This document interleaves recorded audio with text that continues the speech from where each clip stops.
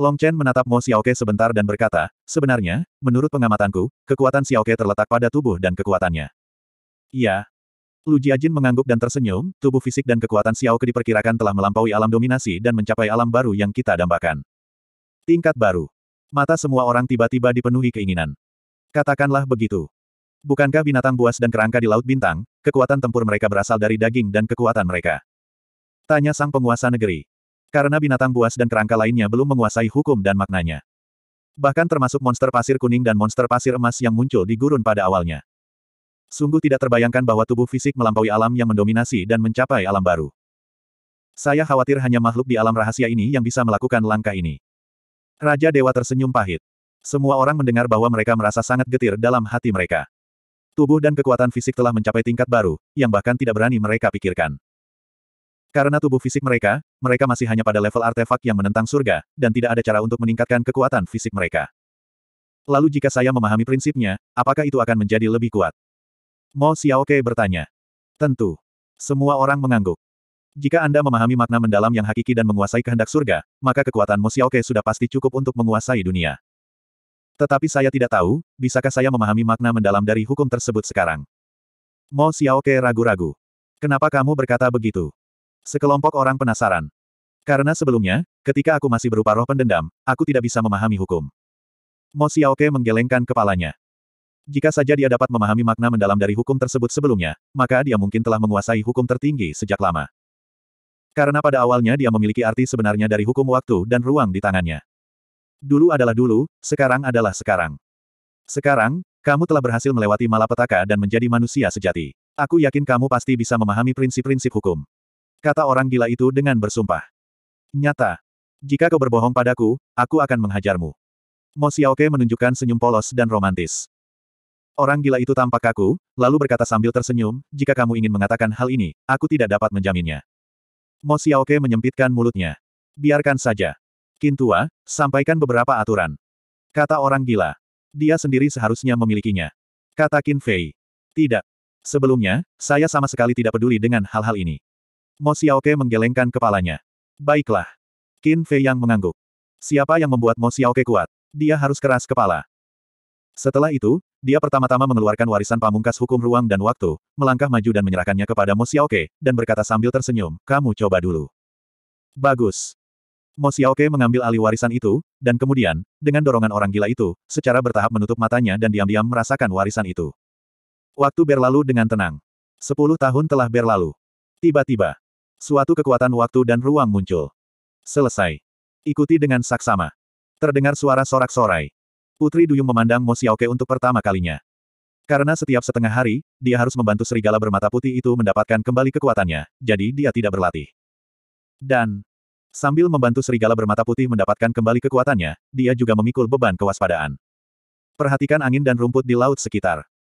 Ketika dia melihat Mo Xiaoke, dia melihat sekumpulan api seperti kristal es mengambang di telapak tangan Mo Xiaoke. Ini adalah kekuatan hukum ruang dan waktu. Begitu cepat. Qin Fei Yang dan yang lainnya juga membuka mata mereka satu demi satu, menatap api itu, mata mereka penuh dengan keterkejutan. Dalam sepuluh tahun, apakah Anda menyadari hukum waktu dan ruang? Bahkan mereka tidak bisa melakukannya. Gadis ini masih jenius. Dia benar-benar pantas menjadi adik perempuannya Lao Su. Orang gila itu pun pulih, mengusap pikiran Mo Xiaoke sambil tertawa. Mo Xiaoke memutar matanya. Orang ini sungguh menyebalkan. Tidak apa-apa, selalu menyentuh kepalanya. Persepsi ini sungguh menakutkan. Meskipun sudah mendapat warisan, tapi tidak bisa secepat itu. Lu Jiajin menggelengkan kepalanya. Tidaklah berlebihan jika dikatakan bahwa dia adalah seorang jenius. Ini adalah hal yang baik. Mampu memahami hukum menunjukkan bahwa kamu telah mematahkan belenggu roh jahat. Mulai sekarang, kalian bisa, seperti kami, menguasai keinginan surga. Qin Fei yang tersenyum. Diperlukan. Saya ingin memahami hukum kelahiran dan kematian seperti Anda dan para iblis. Mo Xiaoke tersenyum bangga. Hah? Qin Fei yang tercengang oleh kesalahan para iblis. Bagaimana? Tidak percaya padaku? Mo Xiaoke bertanya. Percaya dan percaya. Kamu pasti bisa melakukannya. Keduanya mengangguk dan tersenyum. Tidak ada yang bisa mengalahkan antusiasme gadis ini. Itu harus didorong. Baiklah. Melanjutkan. Kamu baru saja menyadari hukum ruang dan waktu, dan kamu harus perlahan-lahan mengintegrasikan warisan ini untuk menguasai semua makna mendalam dari hukum ruang dan waktu. Kata orang gila. Sederhana. Mo Xiaoke melambaikan tangan kecilnya, matanya sedikit berputar, bangkit dan berlari ke hidung serigala bermata putih, menatap mata serigala bermata putih itu. Jangan bikin masalah, jangan bikin masalah, kamu menghalangi pandangan saudaraku. Kata serigala bermata putih. Mo Xiaoke menatap serigala bermata putih itu sejenak, lalu berkata, diskusikan sesuatu. Ada apa? Serigala bermata putih itu mencurigakan. Kelompok Qin Fei Yang juga membuatnya bingung. Apa yang bisa dibicarakan antara gadis ini dan serigala bermata putih? Mo Xiaoke menyeringai dan berkata, kembalikan padaku arti sebenarnya dari hukum waktu dan ruang. Apa?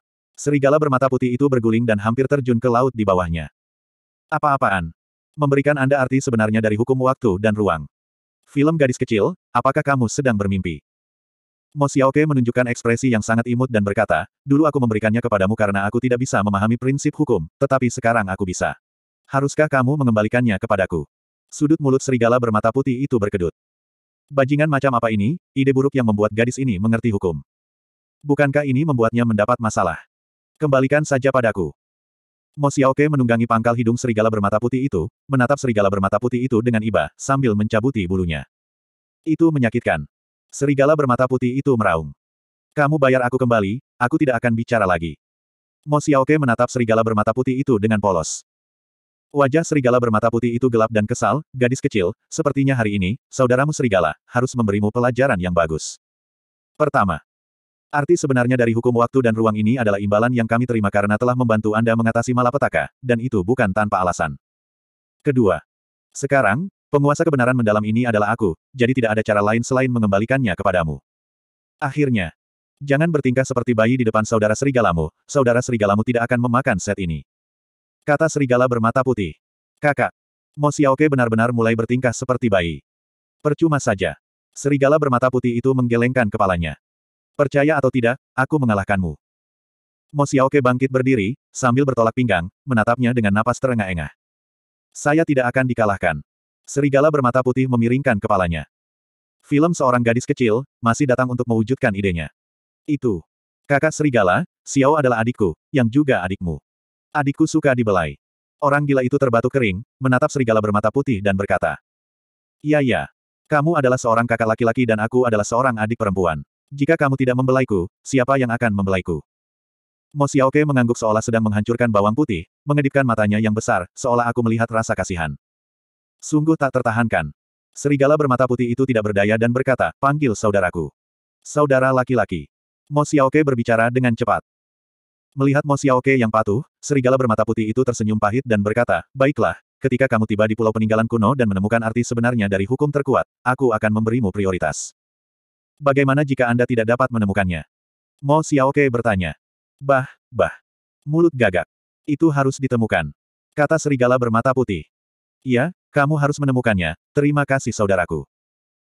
Mo Xiaoke mengangguk, lalu berjalan ke punggung serigala bermata putih dengan puas, duduk di sebelah orang gila itu, dan mulai menggabungkan warisan hukum waktu dan ruang. Hai. Kakak, aku tidak mampu membelinya. Serigala bermata putih mendesah, bebannya terlalu berat. Namun dengan cara ini, hubungan Mo Xiaoke dengan mereka menjadi lebih dekat. Setelah kembali ke dinasti tengah di masa depan, kekuatan mematikan Mo Xiaoke saja mungkin cukup untuk membuat orang-orang seperti Kaisar putus asa. Melihat kejadian ini, Dong Yuexian pun berbicara kepada Dong Tianchen dan tiga orang lainnya, bisakah kalian menghentikan hubungan mereka dengan Mo Xiaoke? Bagaimana cara berhenti? Dong Tianchen tersenyum pahit diam-diam. Mereka tidak memiliki kelebihan bawaan apa pun, apalagi sesuatu yang dapat menyerap Mo Xiaoke. Tidak baik terus-terusan seperti ini. Jika mereka membawa Mo Xiaoke kembali ke dinasti tengah, itu akan menjadi bencana bagi kita. Dong Yuexian khawatir. Pedang orang gila yang penuh kejahatan, meskipun kuat, mudah ditangani. Karena pedang segala kejahatan memiliki kelemahan, ia membutuhkan dukungan kekuatan jahat yang besar. Jika kekuatan jahat hilang, tidak ada yang perlu dikhawatirkan. Tetapi, Mo Xiaoke ini, dengan tubuh fisik dan kekuatannya saja, sudah cukup untuk melawan kekuatan asli kerajaan Tuhan, dan bahkan kekuatan tempurnya, bahkan lebih dari kekuatan asli kerajaan mereka. Oleh karena itu, ini adalah bahaya terbesar mereka saat ini. Dalam hal ini, kita hanya bisa beradaptasi dengan keadaan. Mari kita lihat dulu, mungkin di masa mendatang, kita bisa menemukan peluang. Transmisi suara Dongxin. Jika Anda dapat memenangkan Mo Xiaoke kepada mereka, itu akan menjadi situasi yang lain. Hanya saja kemungkinannya terlalu kecil. Karena tidak sulit untuk melihat bahwa Mo Xiaoke sekarang memiliki kesan yang baik terhadap Qin Fei Yang dan yang lainnya. Bahkan ada sedikit ketergantungan. Waktu berlalu cepat. Setelah puluhan tahun bergegas, sekelompok orang akhirnya memasuki perairan timur. Perlahan-lahan, mereka menyerang lebih banyak lagi. Yang menyerang mereka semua adalah binatang buas di lautan bintang. Apa yang terjadi? Mengapa mereka tidak takut bersikap picik? Putri Duyung bergumam. Ketika berada di perairan selatan, tidak ada binatang buas yang berani mengganggu mereka. Bahkan jika demikian, begitu dia melihat Mo Xiaoke, dia langsung lari ke laut tanpa menoleh ke belakang, persis seperti melihat Tuhan. Tetapi, saat memasuki wilayah timur, binatang buas di sini tampak jauh lebih berani. Dari waktu ke waktu, datanglah untuk memberi kejutan. Untungnya, dia dan serigala bermata putih sama-sama memiliki kekuatan asli mereka, kalau tidak, mereka pasti akan mendapat masalah di sepanjang jalan. Wah! Malam pertama tiba di perairan timur. Gelombang binatang buas yang tak ada habisnya, seolah menjadi gila, menyerbu ke arah serigala bermata putih. Sebagai pilihan terakhir, Putri Duyung hanya bisa membangunkan semua orang dan bersama-sama melawan gelombang binatang. Terlalu menyebalkan. Puluhan tahun telah berlalu, dan integrasi belum berhasil. Mo Xiaoke berdiri dan menatap warisan di depannya, matanya penuh amarah. Bagaimana bisa secepat itu? Warisan utama hukum fusi yang terkuat, berkisar antara ratusan ribu tahun hingga jutaan tahun. Qin Fei yang tersenyum. Butuh waktu lama. Mo Xiaoke menundukkan kepalanya dengan lemah. Mengapa begitu sulit untuk memahami makna hukum yang mendalam? Dia ingin menyerah. Pokoknya, kekuatannya sudah cukup kuat, mau itu hukum atau bukan, ya sudah. Tidak bisa menyerah. Begitulah awalnya. Lagi pula, sekarang kamu bukan lagi roh yang pendendam. Kalau kamu tidak menguasai prinsip, kamu pasti akan diperlakukan dengan tatapan aneh. Qin Fei yang tersenyum. Baiklah. Mo Xiaoke mengangguk, mengamati perairan di sekitarnya, dan berkata dengan curiga, apakah kamu telah memasuki perairan timur? Iya. Putri Duyung mengangguk. Kalau begitu, kamu harus berhati-hati. Ekspresi Mo Xiaoke tampak sedikit serius. 4712. Bagaimana mengatakannya? Kekuatan Mo Xiaoke sangat kuat, tetapi bahkan ekspresinya menjadi sangat serius. Itu bisa dibayangkan. Wilayah Laut Timur ini tidak sederhana. Laut Timur dikuasai oleh Raja Binatang. Namanya adalah Raja Monyet. Karakternya kasar dan suka membunuh. Kekuatannya luar biasa kuat. Saya tidak bisa mengalahkannya sendirian, paling banter setara. Kata Mo Xiaoke. Apa? Sangat kuat. Sekelompok orang terkejut. Tubuh dan kekuatan Mo Xiaoke telah mencapai tingkat baru. Dan Raja Kera ini, bahkan Mo Xiaoke tidak dapat mengalahkannya, bukankah itu berarti kekuatannya telah memasuki alam baru? Tidak apa-apa, saudaraku memiliki pedang segala kejahatan. Orang gila itu melambaikan tangannya. Pedang segala kejahatanmu memang sangat kuat, tetapi kau harus bertahan di saat kritis. Mustahil untuk membukanya begitu kau menghadapi krisis. Ini terlalu boros kekuatan jahat. Jalan setan batin. Itu masuk akal. Orang gila itu mengangguk, mengusap pikiran Mo Xiaoke, dan berkata sambil tersenyum, jika kamu bertemu dengan Raja Monyet ini, kamu akan pergi duluan, tetapi jika kamu tidak bisa mengalahkannya, saudara akan membantumu lagi. Mo Xiaoke memutar matanya. Bagaimana aku bisa membiarkan adikku pergi dulu? Normalnya, bukankah sang kakak yang ada di depan? Seperti apa rupa Raja Monyet ini? Qin Fei yang curiga. Mo Xiaoke melambaikan tangan kecilnya, dan bayangan seekor monyet pun segera muncul. Tingginya sama dengan orang biasa, sekitar 1,7 meter, tetapi matanya sangat tajam, seperti dua lentera besar. Yang paling aneh adalah sebenarnya ada enam telinga. Mo Xiaoke berkata, nama aslinya adalah monyet monster bertelinga enam, dan ia memiliki tiga kepala dan enam lengan, tetapi umumnya ia tidak akan membuka tiga kepala dan enam lengan itu sampai ia memasuki kondisi bertarung. Tiga kepala dan enam lengan. Qin Fei Yang dan yang lainnya terkejut. Mo Xiaoke melambaikan tangan kecilnya, dan sosok lain muncul di sampingnya. Ini adalah monyet iblis dengan tiga kepala dan enam lengan. Ketiga pikirannya sebesar cakram penggiling, keenam lengannya luar biasa kuat, dan rambutnya setajam jarum baja. Monyet iblis bertelinga enam yang sedang dalam kondisi bertarung ukurannya sangat besar. Tingginya lebih dari 10 meter. Seperti Raja Iblis Primordial, ia sangatlah ganas dan perkasa. Monyet iblis bertelinga enam. Orang gila itu tersenyum dan berkata, entahlah, bagaimana rasa otak monyet ini. Aku belum mencicipinya. Hah? Mo Xiaoke menatapnya dengan heran. Saudara ini, saya khawatir dia bodoh.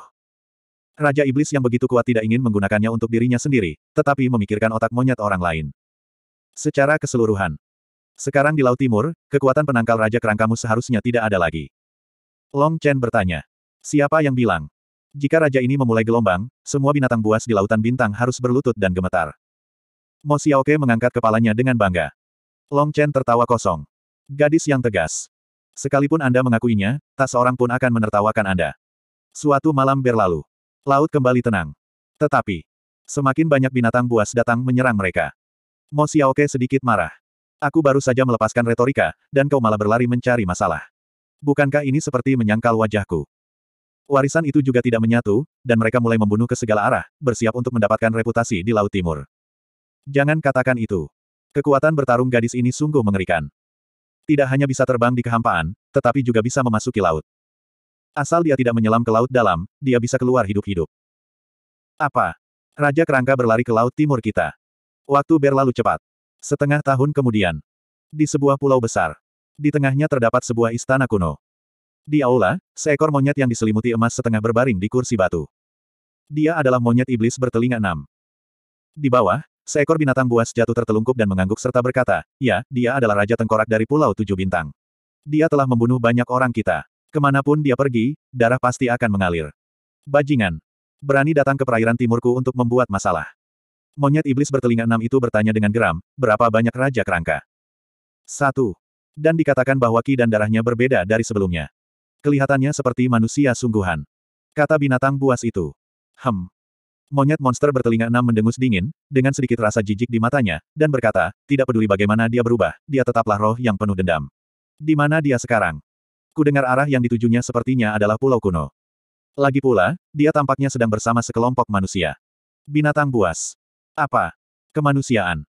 Monyet iblis bertelinga enam itu tiba-tiba berdiri, cahaya menyilaukan memancar ke matanya, bagaikan bilah pedang, dengan daya ledak yang luar biasa. Ya, manusia. Binatang buas itu mengangguk. Keanehan. Bagaimana dia bisa bersama manusia? Juga, di laut bintang kita, apakah ada manusia? Mungkinkah itu dari dunia luar? Monyet iblis bertelinga enam itu merenung sejenak, melangkah, lalu seketika menghilang di luar aula. Beberapa bulan lagi berlalu. Sebuah pulau muncul di bawah pandangan Qin Fei Yang dan lainnya. Serigala bermata putih, pergilah dan lihatlah pulau itu. Kata Qin Fei. Ini aturan mereka, selama mereka menemukan pulau, mereka akan turun dan memeriksanya. Bagaimana jika Anda menemukan makna sebenarnya dari makna yang mendalam? Meski mereka telah menjelajahi ratusan pulau selama bertahun-tahun dan belum menemukan makna sejati, mereka tetap bahagia. Karena makna sebenarnya dari makna mendalam hanyalah masalah kebetulan. Dengan keberuntungan, mungkin itu akan datang. Xiaoke, kemarilah. Putri Duyung memandang ke laut di bawah dan berteriak. Laut di bawah. Ombak bergulung-gulung, dan teriakan terus berlanjut. Mo Xiaoke lah yang membantai binatang buas di laut. Daerah laut di belakangnya berlumuran darah, dipenuhi mayat-mayat yang tak terhitung jumlahnya dengan lengan patah. Wow! Mo Xiaoke menyebutkan seekor binatang buas sebesar gunung, keluar dari ombak. Apakah kamu tahu itu salah? Melihat binatang besar dan ganas ini, Mo Xiaoke seperti sedang melatih seekor anjing. Aku tahu, aku tahu. Dan binatang buas itu tidak berani marah, gemetar, hanya berjanji. Mo Xiaoke tersenyum puas dan bertanya, kalau begitu sekarang kamu tahu siapa aku. Dipahami. Kamu adalah Mo Xiaoke, Raja Kerangka dari Pulau Bintang Tujuh. Binatang buas itu ketakutan luar biasa. Pergilah dan beritahu binatang buas lainnya di Lautan Timur, jika ada yang tidak dapat mengingat nama ini, raja ini akan membunuhnya. Gulungan. Mo Xiaoke melepaskannya, dan binatang buas itu lari dengan putus asa. Terlalu menakutkan. Pemilik area terlarang ini tidak mudah untuk diajak main-main. Mo Xiaoke menepuk tangan kecilnya dan mendarat di punggung serigala bermata putih itu, memperlihatkan senyum yang tidak berbahaya kepada semua orang, dan berkata sambil menyeringai, oke, ayo pergi. Qin Fei Yang dan yang lainnya saling memandang. Ini hanyalah seorang penyihir kecil. Jika mereka mengenal Mo Xiaoke lebih awal, apakah mereka akan begitu malu? Tetapi, pikirkan kembali. Jika alam rahasia terutama ditujukan pada mereka, Mo Xiaoke tidak akan cukup membantu. Tidak. Penguasa alam rahasia benar-benar ingin menargetkan mereka, dan Mo Xiaoke tidak berani membantu mereka. Suara mendesing. Serigala bermata putih memimpin sekelompok orang ke pulau itu, segera membuka pikiran spiritualnya, dan meluncurkan pencarian seperti karpet untuk pulau itu. Mereka tidak bisa sampai ke laut dalam. Sekalipun ada harta karun di laut dalam, mereka hanya bisa menatap. Oleh karena itu, hanya pulau-pulau ini yang dapat dicari. Lebih baik saya membunuh seribu orang karena kesalahan daripada kehilangan satu orang. Jika keberuntungan datang, apakah Anda benar-benar menemukan maknanya yang sebenarnya? Mo Xiaoke. Mereka semua punya nama. Bagian tengah pulau. Di puncak gunung. Monyet iblis bertelinga enam berdiri di tepi tebing, mengamati Mo Xiaoke yang terbang ke arah ini dari kejauhan. Nama Mo Xiaoke benar-benar mengejutkannya. Karena di masa lalu, Raja Kerangka itu semua menyebut diri mereka sebagai Raja Kerangka di pulau itu. Seperti pulau pertama. Dia mengaku sebagai Raja Kerangka di pulau pertama. Pulau kedua mengklaim sebagai Raja Kerangka di pulau kedua.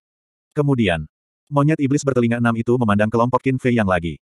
Itu sungguh manusiawi. Tunggu. Ada Phoenix dan Shenlong. Binatang yang bermartabat itu juga sama halnya dengan manusia. Aku benar-benar kehilangan muka pada binatang itu. Monyet iblis bertelinga enam itu tersenyum dingin, lalu berjalan terseok-seok dan menghilang tanpa jejak. Qin Fei Yang dan yang lainnya tidak menyadari keberadaan monyet iblis bertelinga enam. Segera, serigala bermata putih membawa sekelompok orang dan menyapu puncak gunung. Tapi pada saat ini, gunung raksasa itu tiba-tiba runtuh, dan monyet iblis bertelinga enam keluar dari debu dan asap, dan memukul kepala serigala bermata putih dengan pukulan. Wei Hao. Sekelompok orang tiba-tiba berubah warna. Kecepatannya begitu besar sehingga mereka tidak dapat bereaksi sama sekali. Liu Er, kamu mencari kematian. Mo Xiaoke masih bereaksi. Karena kekuatan dan kecepatannya jauh melampaui Qin Fei Yang dan yang lainnya. Hah? Dalam sekejap, dia sudah berada di hadapan serigala bermata putih itu, mengangkat lengan rampingnya, dan menyambut tinju monyet iblis bertelinga enam itu dengan telapak tangannya. Terdengar suara ledakan keras, gelombang kengerian melanda segala arah. Seluruh pulau musnah dalam sekejap. Kelompok Qin Fei Yang juga terangkat keluar, dengan darah mengalir di mulut mereka. Namun dalam sekejap, mereka terkena pukulan keras. Dan itu mematikan. Tubuh, jiwa, semuanya hancur. Inikah yang mematikan dari yang berkuasa di alam baru? Gelombang volatilitas saja bukanlah sesuatu yang dapat mereka tanggung. Ketika serigala bermata putih menstabilkan tubuhnya, menahan rasa sakit yang parah, dan menangkap Qin Fei Yang dan yang lainnya satu persatu, Putri Duyung segera membuka mata kehidupan, dan energi kehidupan yang besar menyelimuti semua orang, dan tubuh yang rusak berhenti dan mulai memperbaiki. Langsung. Sekelompok orang memandang Mo Xiaoke dan monyet iblis bertelinga enam. Itu monyet iblis bertelinga enam. Pupil matanya langsung mengecil. Dia sebenarnya diserang oleh Raja Iblis ini. Tampaknya monyet iblis bertelinga enam telah menunggu mereka di sini sejak lama. Monster monyet bertelinga liu melirik ke arah Qin Fei Yang dan yang lainnya, ekspresinya sedikit kesal. Dalam menghadapi serangan mendadaknya, tidak ada yang mati. Baginya, itu adalah suatu hal yang memalukan. Langsung. Dia menatap Mo Xiaoke yang berdiri di seberang kehampaan, dan berkata sambil tersenyum, haruskah raja ini memanggilmu Raja Kerangka Pulau Bintang Tujuh, atau Mo Xiaoke? Sebut saja apa pun yang kamu suka. Mo Xiaoke mendengus dingin. Sudah bertahun-tahun aku tidak melihatnya, dan aku masih saja punya sifat pemarah. Tidak masalah jika kamu memiliki sifat pemarah dan tidak memiliki kepala yang baik. Kemarilah dan biarkan raja menyentuh kepalanya. Monyet iblis bertelinga enam itu sedang bercanda. Kamu cari gara-gara. Mo Xiaoke melotot marah, lalu menyerbu ke depan dan bertarung melawan monyet iblis bertelinga enam. Keduanya adalah tinju ke daging, mengandalkan sepenuhnya pada daging dan kekuatan. Tidaklah berlebihan jika dikatakan demikian. Dengan satu pukulan, Qin Fei Yang dan lainnya dapat terbunuh dalam hitungan detik. Tunggu. Tiba-tiba. Monyet iblis bertelinga enam itu berhenti, menatap Mo Xiaoke dengan curiga, dan bertanya, mengapa Raja Agung ini ada padamu, kamu tidak bisa lagi merasakan nafas roh dendam. Apa yang telah terjadi? Sebagai roh yang penuh dendam, tidak ada aura roh yang penuh dendam. 4713. Karena sekarang aku bukan lagi sosok yang pendendam. Mo Xiaoke tersenyum penuh kemenangan. Bukan roh yang pendendam. Monyet iblis bertelinga enam itu terkejut. Mo Xiaoke melambaikan tangannya, dan kekuatan hukum waktu dan ruang muncul. Ini. Melihat kekuatan hukum ruang dan waktu, ekspresi monyet iblis bertelinga enam tiba-tiba menjadi kusam. Janganlah menjadi roh yang pendendam, bahkan Raja Iblis seperti dia tidak dapat memahami makna hukum yang mendalam. Inilah aturan alam rahasia. Tidak seorang pun dapat memecahkannya. Tapi saat ini, sebagai roh pendendam, Mo Xiaoke tidak hanya memudarkan tubuh roh pendendam, tetapi juga dapat memahami makna mendalam dari hukum. Apakah ini mimpi? Mo Xiaoke melambaikan tangannya, dan kekuatan hukum ruang dan waktu menyapu ke arah monyet iblis bertelinga enam. Monyet iblis bertelinga enam itu menggenggamnya di tangannya dan mengamatinya dari atas ke bawah dengan saksama, akhirnya memastikan bahwa ini adalah kekuatan hukum ruang dan waktu. Ledakan. Dia menggoyangkan kelima jarinya, kekuatan hukum waktu dan ruang menghilang, lalu menatap Mo Xiaoke dan bertanya, bagaimana kamu melakukannya? Sungguh menyakitkan bagi makhluk hidup jika gagal memahami makna mendalam dari hukum. Ini seperti orang yang suka makan daging dan minum, dengan meja besar berisi anggur lezat di depannya, tetapi dia tidak bisa makan atau minum. Aku tidak akan memberitahumu. Mo Xiao terkekeh dan tertawa. Kamu bodoh sekali sekarang, kamu juga manusia, kamu tidak bisa melakukan itu. Ucapkan lagi. Kita sudah saling kenal bertahun-tahun, tanpa kasih sayang keluarga, tapi juga persahabatan. Monyet iblis bertelinga enam itu menggaruk-garuk telinga dan pipinya, sangat kesal. Siapa yang berteman denganmu? Dengan persahabatan, apakah kamu masih menyerangku? Mo Xiaoke mendengus dingin. Bukankah ini kesalahpahaman? Raja mengira orang lain yang tidak tahu bagaimana hidup dan mati, datang ke perairan timurku untuk main-main. Monyet iblis bertelinga enam itu tertawa. Apakah kamu percaya ini? Mo Xiaoke mengedipkan matanya yang besar dan menatapnya dengan polos. Monyet iblis bertelinga enam itu merasa malu. Tunggu. Tiba-tiba, dia memandang kelompok Qin Fei Yang. Sebagai Raja Kerangka Pulau Bintang Tujuh, Mo Xiaoke sebenarnya bersama manusia ini. Mungkinkah itu? Perubahan Mo Xiaoke saat ini ada hubungannya dengan manusia ini.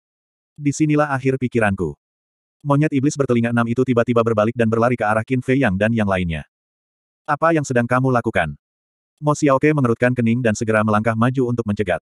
Namun kecepatan monyet iblis bertelinga enam hampir sama dengan kecepatannya. Cepatlah lari. Mo Xiaoke berteriak. Masih menggunakan dia untuk berkata. Melihat monyet iblis bertelinga enam menukik ke sini, serigala bermata putih itu langsung menyala sesaat, dan sayap emasnya berkibar, berbalik untuk mengaktifkan mode melarikan diri. Namun, dengan kecepatannya, siapakah lawan monyet iblis bertelinga enam? Namun, dalam beberapa kedipan, monyet iblis bertelinga enam itu mengejar dan mendarat di kepala serigala bermata putih. Dengan sedikit kekuatan di bawah kakinya, kepala serigala bermata putih itu segera mulai hancur, dan darah keemasan menodai langit. Hentikan! Qin Fei Yang dan yang lainnya berteriak dengan keras. Monyet iblis bertelinga enam itu melirik Qin Fei Yang dan yang lainnya, dengan penghinaan tak berujung di matanya, kekuatan di bawah kakinya menghilang, dan kepala serigala bermata putih itu langsung berhenti patah. Ini dapat dianggap sebagai guncangan yang tidak terlihat. Ini peringatan bagi serigala bermata putih, jangan main trik. Setelah itu, monyet iblis bertelinga enam itu menatap Mo Xiaoke yang mengejarnya, dan berkata sambil tersenyum, perubahanmu pasti ada hubungannya dengan orang-orang ini. Mo Xiaoke berhenti, dan sedikit mengernyit. Raja bisa membiarkanmu pergi. Tetapi orang-orang ini, kalian harus tetap tinggal. Kata Liu Eryao sudah memperlakukan Qin Fei Yang dan yang lainnya seperti domba di dalam lingkaran. Seperti semua orang tahu, bahaya terbesar sebenarnya ada di belakangnya. Orang gila itu mengangkat alisnya ketika dia melihat monyet iblis bertelinga enam yang mempesona. Bahkan saat dia membuka pedang segala kejahatan, dia tidak pernah begitu sombong. Kenapa kamu jadi monyet kecil? Tidak. Melihat orang gila itu hendak melepaskan pedang segala kejahatan, Qin Fei yang mengulurkan tangannya untuk menghentikannya, menatap monyet iblis bertelinga enam, dan tersenyum tipis, perubahan Xiao ke memang ada hubungannya dengan kita. Monyet iblis bertelinga enam segera menatap Qin Fei Yang, matanya penuh kerinduan. Tetapi mengapa kami harus membantu Anda? Qin Fei yang bertanya. Mengapa? Monyet iblis bertelinga enam itu terkejut, dan tertawa, manusia, apakah kamu bodoh? Raja ini lebih kuat darimu, dan mencubitmu sampai mati semudah mencubit semut.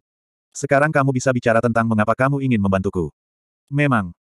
Qin Fei yang mengangguk dan berkata ringan, kekuatanmu sangat kuat, tetapi jika kamu membunuh kami, maka kamu tidak akan pernah ingin melanggar aturan dan memahami makna hukum yang mendalam. Monyet iblis bertelinga enam itu mengerutkan kening. Saya yakin kamu bisa melakukannya. Selanjutnya, jika kamu berani menyakiti kami sendirian, kamu akan kehilangan kesempatan ini. Setelah Qin Fei yang berkata, dia menatap Putri Duyung. Putri Duyung memahami pikirannya, membuka mata kehidupan, dan membantu serigala bermata putih memperbaiki lukanya. Ini. Monyet iblis bertelinga enam itu menatap Putri Duyung dengan sedikit ekspresi terkejut di matanya. Sejujurnya, saya menyarankan Anda untuk tidak memprovokasi kami. Si gila itu tersenyum. Dia benar-benar ingin mencicipi rasa otak monyet. Apakah pedas atau dikukus? Monster monyet bertelinga liu melirik orang gila itu, lalu menatap Qin Fei Yang. Jie tersenyum dan berkata, baiklah, beritahukan jalannya pada Raja, dan Raja akan membiarkanmu pergi. Bagaimana bisa semudah itu? Bagaimana dengan ini? Anda menemani kami ke pulau peninggalan Purbakala. Saat kau memasuki pulau kuno, kami akan membantumu melanggar peraturan. Kata Qin Fei. Apa? Pergi ke pulau peninggalan purba. Kamu gila. Raja telah menguasai lautan timur selama bertahun-tahun yang tak terhitung jumlahnya, dan dia tidak berani pergi ke pulau peninggalan Purbakala. Bersama kalian para pemula. Monyet iblis bertelinga enam itu penuh dengan penghinaan. Itu hanya untuk mati. Qin Fei Yang dan yang lainnya saling memandang. Apakah peninggalan Purbakala itu begitu mengerikan? Monyet iblis bertelinga enam berada pada level yang sama dengan Mo Xiaoke, dan dia bahkan tidak berani menginjakan kaki di pulau kuno. Orang gila itu berkata, jangan khawatir, katakan saja, apakah kamu ingin menemani kami? Tidak bersedia. Monyet iblis bertelinga liu menggelengkan kepalanya dengan tegas. Dia belum cukup hidup. Kalau begitu, tidak mungkin. Kami juga tidak berdaya. Qin Fei Yang berkata dengan ringan. Mendengar ini, alis monyet iblis bertelinga enam tiba-tiba terangkat dengan sedikit permusuhan, dan berkata sambil menyeringai, apakah itu mengancam raja? Hari ini, raja benar-benar akan membunuhmu. Bukankah itu prinsip hukum? Bahkan jika kamu tidak menguasai hukum, raja ini masih penguasa lautan bintang. Ledakan. Dia melangkah turun, dan kepala serigala bermata putih itu meledak di tempat. Sekelompok orang Qin Fei Yang segera jatuh ke laut di bawah. Huo Wu kembali ke wujud aslinya dalam hitungan menit, menangkap Qin Fei Yang dan yang lainnya, lalu menatap serigala bermata putih. Menemukan. Roh serigala bermata putih itu melarikan diri dengan putus asa. Kamu ingin mati. Pembunuh di mata orang gila melonjak, pedang semua kejahatan lahir, dan ujung yang tajam menyapu langit. Iya, Monyet iblis bertelinga enam itu menatap pedang segala kejahatan, dan sedikit keterkejutan muncul di matanya, tetapi karena kekuatan jahat belum disuntikan, nafas pedang segala kejahatan tidak dapat mengancam monyet bertelinga enam itu. Jadi, monyet iblis bertelinga enam tidak banyak melihat, dan melangkah menuju roh serigala bermata putih. Bagus. Inilah yang kau paksakan pada Lao Su. Hari ini aku akan merebusmu. Orang gila itu tersenyum lebar, kekuatan jahat menyerbu masuk, dan momentum pedang segala kejahatan tiba-tiba naik bagai letusan gunung berapi. Apa-apaan? Penampilan monyet iblis bertelinga enam berubah. Rasa krisis yang fatal ada di atas meja. Dia menatap pedang segala kejahatan lagi, matanya penuh keterkejutan. Monyet kecil, selesai sudah kamu. Mo Xiaoke berbicara. Monyet iblis bertelinga enam itu melirik Mo Xiaoke lagi, dan melihat wajah kecilnya penuh dengan ekspresi senang dan bangga, firasat buruk pun tiba-tiba muncul dalam hatinya. Intuisi memberitahunya bahwa jika dia tidak berjalan, hidupnya mungkin dalam bahaya. Sangat menentukan. Dia segera berbalik dan pergi. Hah? Namun Mo Xiaoke, seolah sudah menduganya sejak lama, melangkah maju dengan satu langkah dan berjalan di depan monyet iblis bertelinga enam. Jangan datang dan mati. Monyet iblis bertelinga enam itu sangat marah. Ledakan. Kekuatan dahsyat yang mengerikan pun meletus. Momen berikutnya. Seekor monyet iblis dengan tiga kepala, enam lengan dan tubuh lebih dari sepuluh meter muncul. Dengan enam lengan, mereka semua melesat ke arah Mo Xiaoke. Melihat ekspresi Mo Xiaoke, dia pun bangkit dengan sedikit berwibawa, namun tidak mundur, bertepuk tangan, dan kekuatan tak terlihat pun meraung keluar. Terdengar suara ledakan keras. Mo Xiaoke terkejut dan terbang keluar. Wajah kecil, agak pucat. Dia begitu kuat dalam pertempuran. Serigala bermata putih mengambil kesempatan untuk berlari ke sisi Putri Duyung, menyaksikan pemandangan ini, matanya penuh dengan keterkejutan. Kekuatan Mo Xiaoke jelas bagi semua orang. Tanpa diduga, monyet iblis bertelinga enam yang memasuki kondisi bertarung mampu menekan Mo Xiaoke. Benar-benar tak terkalahkan. Qin Fei yang menggerutu. Tak terkalahkan, kamu harus mati. Si gila itu tersenyum. Bersamaan dengan suara keras, ujung tajam pedang segala kejahatan itu seketika menebas hingga mencapai ketinggian yang mengerikan, lalu menebas ke arah monyet bertelinga enam. Sepotong energi pedang melonjak pergi. Kehampaan sirna dan lautan mendidih.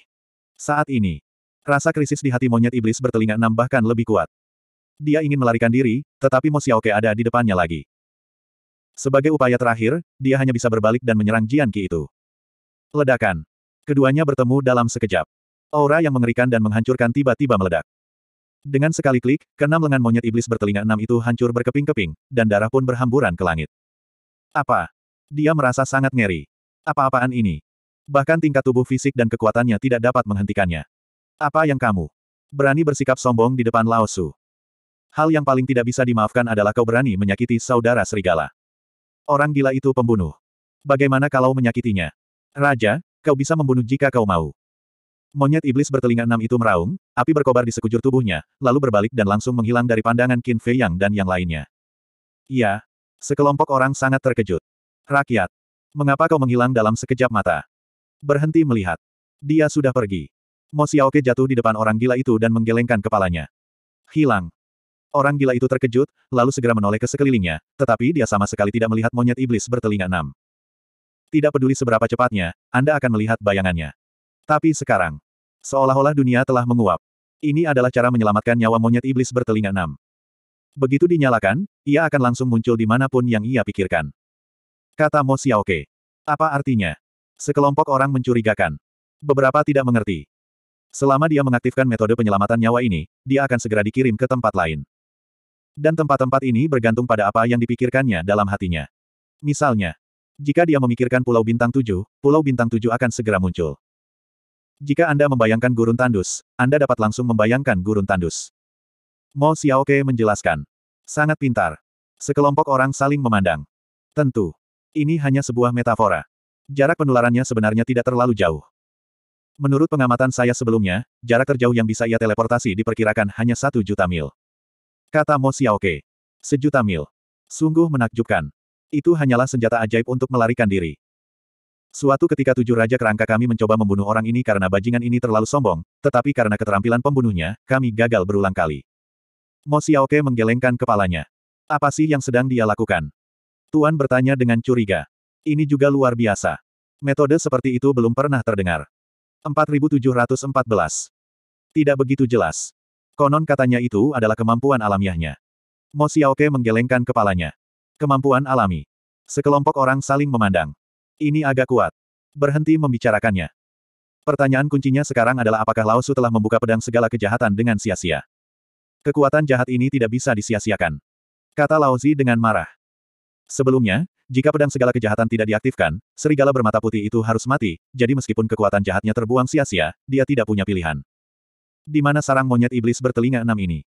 Qin Fei Yang menoleh untuk melihat Mo Xiaoke, dan bertanya. Tidak jauh. Sekitar setengah jam lagi. Kata Mo Xiaoke. Setengah jam. Orang gila itu terkejut sejenak, dan itu tidak jauh. Cahaya dingin tiba-tiba melintas di matanya, dan berkata, Saudara Serigala, ayo pergi, bunuh sarangnya.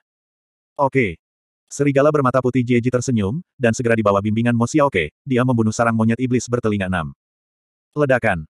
Tiba-tiba. Sebuah kekuatan misterius yang terselubung. Orang gila itu memandang Dong Yuexian. Melihat Dong Yuexian, telah mengaktifkan kekuatan gaib surgawi teratai malaikat, yang diberikan oleh para dewa. Dengan restu para dewa, serigala bermata putih lebih cepat. Tidak perlu berterima kasih padaku.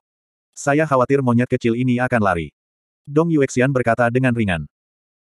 Lagi pula, di sini, tidak jauh dari rumah monyet iblis bertelinga enam, kemungkinan besar monyet iblis bertelinga enam akan menebak bahwa mereka akan membunuhnya. Si gila itu tersenyum. Jika identitas Dong Yuexian dikesampingkan, dia sebenarnya orang yang bisa bergaul. Haruskah aku bergegas? Mo Xiaoke menatap orang gila itu dan bertanya. Iya. Orang gila itu terkejut.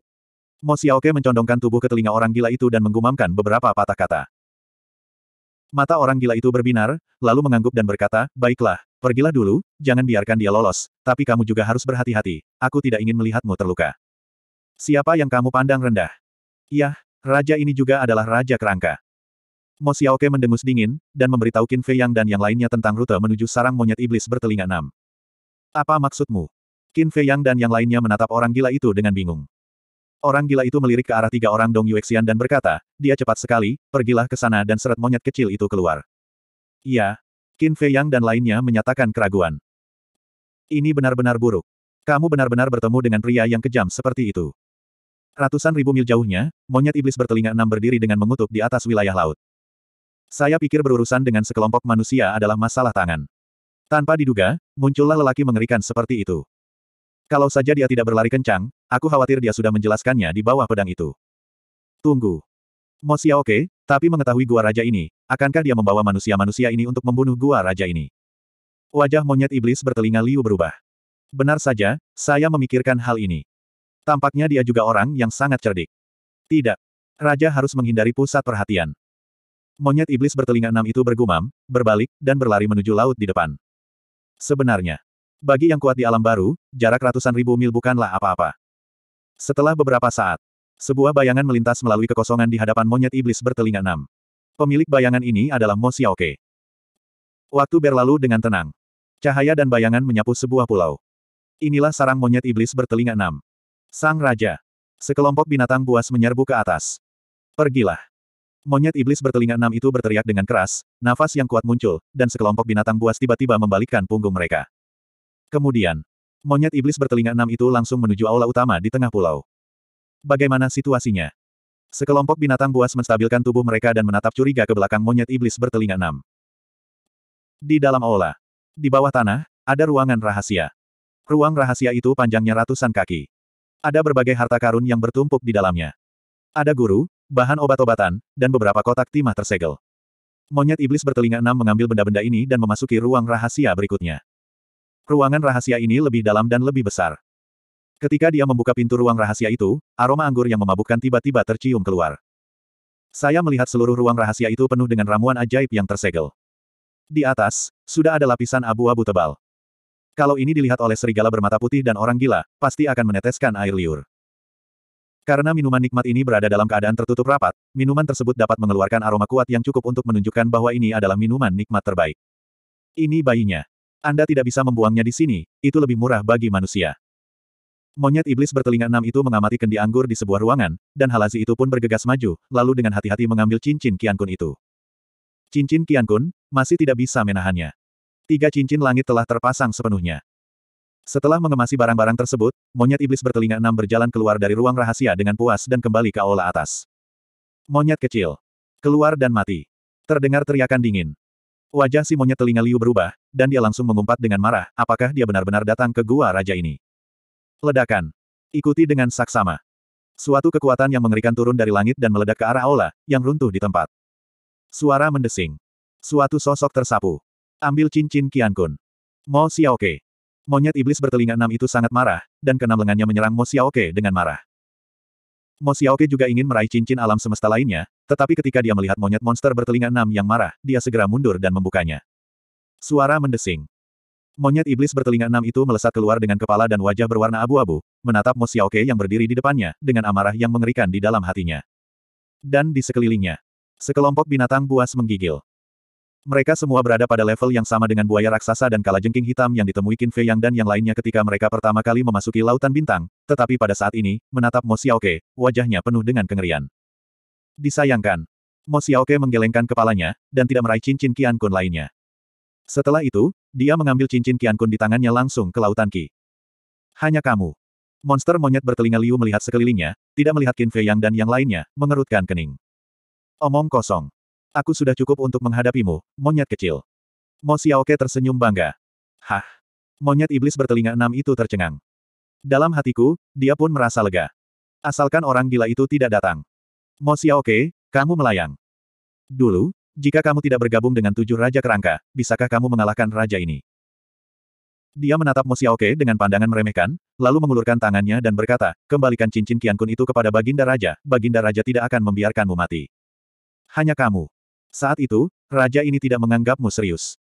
Mo Xiaoke mendengus dingin. Oke. Berhentilah bicara omong kosong. Meskipun kita adalah musuh lama, kalian tidak akan membantu manusia-manusia itu menghadapi Raja ini. Dengan cara ini, kamu kembalikan cincin Qiankun kepada Raja dan biarkan Raja pergi. Mulai sekarang, Raja tidak akan lagi pergi ke perairan selatanmu untuk melempar. Kata monyet iblis bertelinga liu. Terlihat dari raut wajahnya yang cemas. Karena Mo Xiaoke sudah ada di sini, manusia-manusia itu pasti sudah dalam perjalanan lagi. Harus segera pergi. Tentu. Berikan semua cincin semesta milikmu kepadaku, dan aku akan membiarkanmu pergi. Mo Xiaoke berkedip dan berkata sambil tersenyum. Monyet iblis bertelinga enam itu dengan cepat menyingkirkan cincin semesta yang lain, dan berkata dengan marah, jangan terlalu banyak menipu orang, raja ini benar-benar akan menjadi gila, kamu, Raja Kerangka, hanya bisa dikalahkan. Kalau begitu, cobalah. Mo Xiaoke percaya diri dan provokatif. Anda benar-benar berkewajiban untuk membersihkannya. Monyet iblis bertelinga enam itu sangat marah, mengepulkan asap tebal, dan menghantam Mo Xiaoke dengan sebuah pukulan. Mo Xiaoke langsung menyapanya. Tapi tiba-tiba, Monyet iblis bertelinga enam itu berbalik dan melarikan diri tanpa menoleh ke belakang. Hah! Hal ini membuat Mo Xiaoke sedikit heran. Melihatnya agresif, dia pikir akan terjadi pertarungan berdarah, tapi dia tidak menyangka kalau yang dia lakukan hanya menakut-nakutinya. Tapi pikirkanlah. Dengan pikiran cerdik dari monyet iblis bertelinga enam, dia pasti mengira bahwa Qin Fei Yang dan yang lainnya juga sedang dalam perjalanan, jadi langkah yang bijaksana adalah segera melarikan diri, tidak perlu bertarung. Jangan meninggalkan dunia. Saat dia pulih, Mo Xiaoke segera menyusul. Serahkan saja padamu untuk membeli peti mati. Monyet iblis bertelinga enam itu mendengus dingin. Dia memeriksa apakah cincin Qiankun yang dicuri Mo Xiaoke berisi ramuan ajaib. Meskipun minuman nikmat ini adalah harta karunnya, situasi saat ini jelas merupakan masalah kehidupan. Di samping itu, dia masih punya dua ramuan suci Qiankun Ring, jadi kehilangan ramuan suci Qiankun Ring hampir tidak bisa diterima. Mulut bau. Mo Xiaoke menatapnya dengan marah. Anda harus menggunakannya. Juga, kau dan aku memiliki kecepatan yang sama. Bisakah kau mengejar raja, gadis kecil, menyerahlah secepatnya. Monyet iblis bertelinga enam itu mencibir lagi dan lagi. Baris. Raja akan menghabiskannya bersamamu sampai akhir.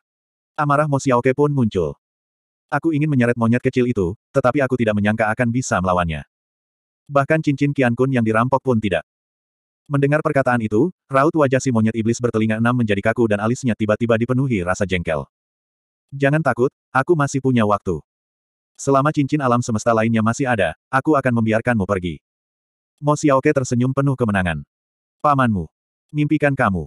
Monyet monster bertelinga liu memandang perairan di sekitarnya dengan wajah gelap, lalu meraung, hentikan dia demi raja. Memberikan perintah. Laut di bawah tiba-tiba menjadi bergolak, menimbulkan gelombang dahsyat. Mengaum. Bersamaan dengan raungan binatang buas yang memekakkan telinga, segerombolan binatang buas menyerbu dengan gagah perkasa. Dalam sekejap, gelombang binatang buas muncul. Sangat padat dan tak terhitung banyaknya. Pengadilan kematian. Mo Xiaoke sangat marah, kekuatan tak kasat mata meraung keluar, menyerbu ke segala arah dengan dahsyat. Gerombolan besar binatang buas, disertai jeritan kesakitan, memerciki langit dengan darah. Tapi hanya sesaat. Laut di bawahnya menjadi lautan darah, mayat-mayat berserakan di ladang. Namun, binatang buas lainnya pun menerkam. Itu hanya dapat dijelaskan dalam empat kata, satu demi satu, menghalangi jalan Mo Xiaoke. Gadis kecil, beraninya kau merebut cincin alam semesta raja, dan tunggu saja, tak seorang pun dari kalian bisa meninggalkan Laut Timur hidup-hidup. Terdengar seringai dari monyet iblis bertelinga enam. Mo Xiaoke menatap monyet iblis bertelinga enam dengan ekspresi jengkel. Dengan binatang buas yang menghalangi jalannya, dia hanya bisa menyaksikan monyet iblis bertelinga enam itu menjauh dari bawah kelopak matanya. Tampaknya pembunuhan selama kurun waktu ini tidak mengejutkanmu. Mo Xiaoke mengamati gelombang binatang buas itu, matanya berkilat tajam. 4715 Mendengar perkataan itu, sambil menatap mata Mo Xiaoke lagi, binatang buas itu pun menjadi gelisah, lalu mereka pun menyelam ke dalam laut tanpa menoleh ke belakang. Bagaimanapun, monyet iblis bertelinga enam sudah pergi, dan tidak perlu lagi bekerja keras. Tidak. Ini bukan putus asa. Ini hanyalah pembantaian sepihak. Menatap kekosongan yang telah kosong dalam sekejap, Mo Xiaoke juga tertawa marah. Saya ingin mengejarnya ke laut dan membunuhnya secara terbalik, tetapi setelah memikirkannya, saya biarkan saja. Setelah beberapa saat, serigala bermata putih membawa Qin Fei Yang dan yang lainnya, dan datang perlahan. Bagaimana dengan orang-orang? Orang gila itu bertanya. Pedang segala kejahatan di tangannya sudah lapar dan haus. Berlari. Mo Xiaoke menjawab. Apa? Mengapa membiarkan dia lari? Orang gila itu tercengang. Monyet iblis bertelinga enam itu lari, yang berarti ia tidak mempunyai tempat untuk melampiaskan amarahnya. Monyet kecil ini terlalu licik. Tidak hanya tidak menghadapiku secara langsung, tetapi juga membiarkan binatang buas di laut menggangguku. Mo Xiaoke berkata dengan marah, lalu mengeluarkan cincin alam semesta dan melemparkannya ke orang gila itu. Cincin Qiankun. Melihat cincin Qiankun ini, mata semua orang tiba-tiba berbinar. Direbut dari monyet kecil itu. Tetapi masih ada beberapa cincin Qiankun, dan aku belum merebutnya. Kata Mo Xiaoke. Orang gila itu segera menundukkan kepalanya dan memeriksa cincin Qiankun. Dong Yuexian bergumam, ternyata Mo Xiaoke diminta datang lebih dulu untuk merebut cincin semesta milik monyet iblis bertelinga enam.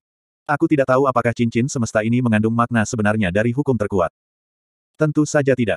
Dong Tianchen menggelengkan kepalanya. Mengapa begitu yakin? Dong Yuexian menatapnya dengan curiga. Dong Tianchen berkata, sangat sederhana. Jika memang ada hukum terkuat, apakah Mo Xiaoke akan mengungkapkannya di depan umum dan memberikannya kepada orang gila? Juga. Dong Yuexian tiba-tiba mengangguk. Sebelum Mo Xiaoke bergegas datang sendiri, orang gila itu hanya berkata, biarkan Mo Xiaoke datang dan menyeret monyet iblis bertelinga enam itu terlebih dahulu. Ini jelas dimaksudkan untuk bersembunyi dari mereka, dan tidak ingin mereka berbagi sepotong kue. Dan sekarang, tepat di hadapan mereka, serahkan kepada orang gila, maka pasti ada sesuatu yang tidak penting di cincin alam semesta ini. Aku pergi. Tapi tiba-tiba, orang gila itu berseru, wajahnya penuh kegembiraan. Sekelompok orang terkejut. Langsung lihat orang gila, benarkah di situ terdapat makna hukum yang paling kuat? Hanya Mo Xiaoke yang memiliki sedikit kecurigaan di wajah kecilnya. Saat itu, dia juga melihat cincin Qiankun ini. Cincin itu penuh dengan toples anggur dan beberapa anggur. Bagaimana mungkin saudara yang tidak tahu malu ini begitu terkejut? Xiaoke, ini adalah harta karun yang besar. Orang gila itu memutar wajah Mo Xiaoke, wajahnya penuh kegembiraan.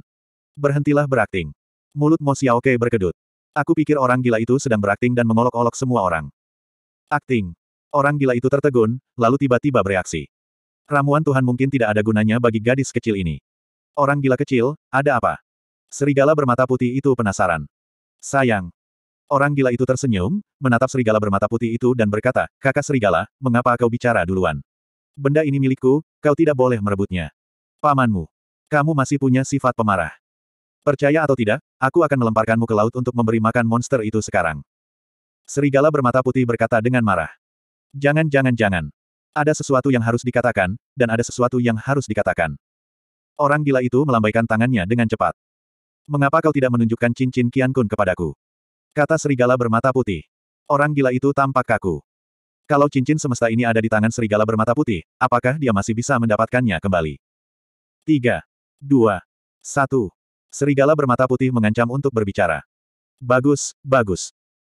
Orang gila itu mengangguk cepat, lalu berkata, tapi mari kita bicarakan ini dulu, mari kita bagi sama rata, kalau tidak, aku akan melempar cincin alam semesta ini ke laut sekarang juga, jadi tidak mau yang lain. Baris. Serigala bermata putih itu mengangguk. Hai. Kalau begitu pergilah ke pulau itu dulu. Orang gila itu mendesah tak berdaya.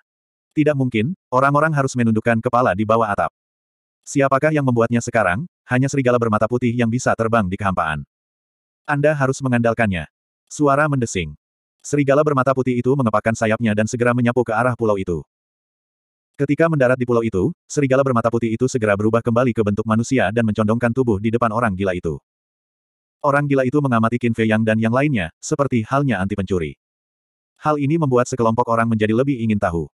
Terutama empat orang Dong Yuexian. Apa-apaan ini? Bikin dua orang ini jadi gugup.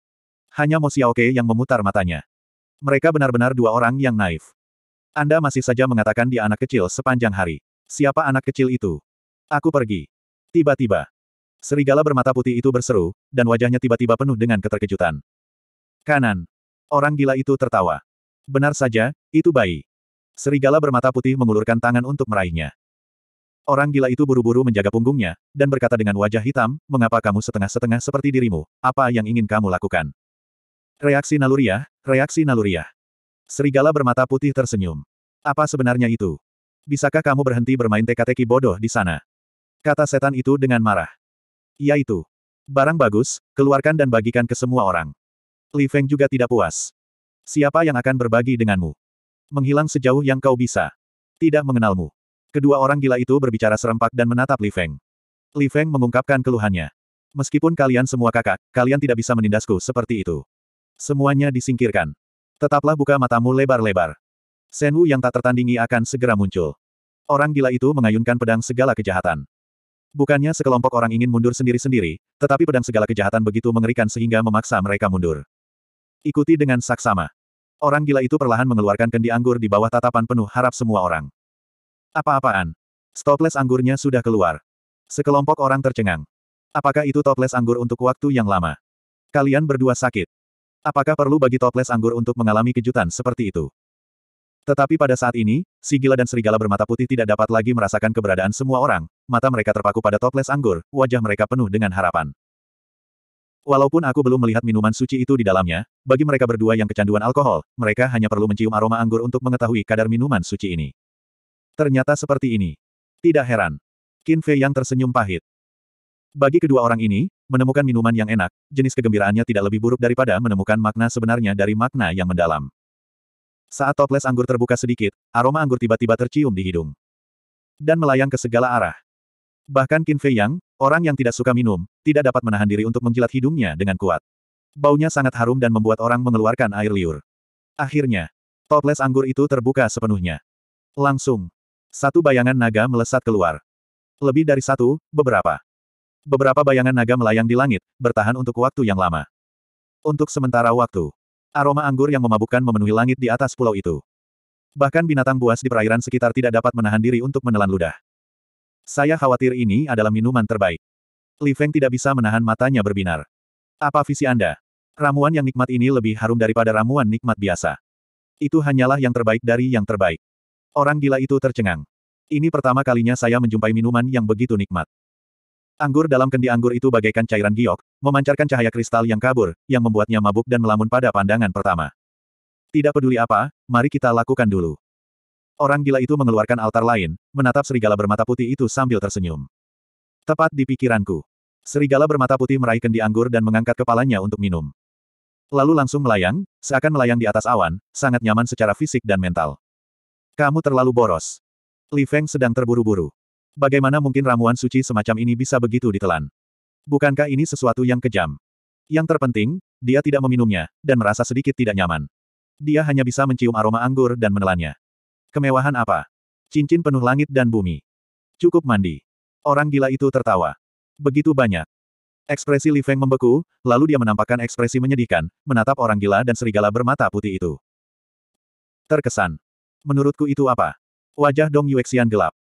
Ketiga Dong Tianchen juga tertawa getir, tetapi anggur itu benar-benar harum, dan mereka tidak bisa menahan keinginan untuk mencicipinya. Kecil. Ke mana perginya monyet iblis bertelinga enam itu?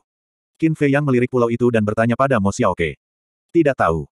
Namun sebelum pergi, dia melepaskannya, dan dia tidak akan membiarkan kita meninggalkan Laut Timur hidup-hidup. Kata Mo Xiaoke. Qin Fei yang mengerutkan kening.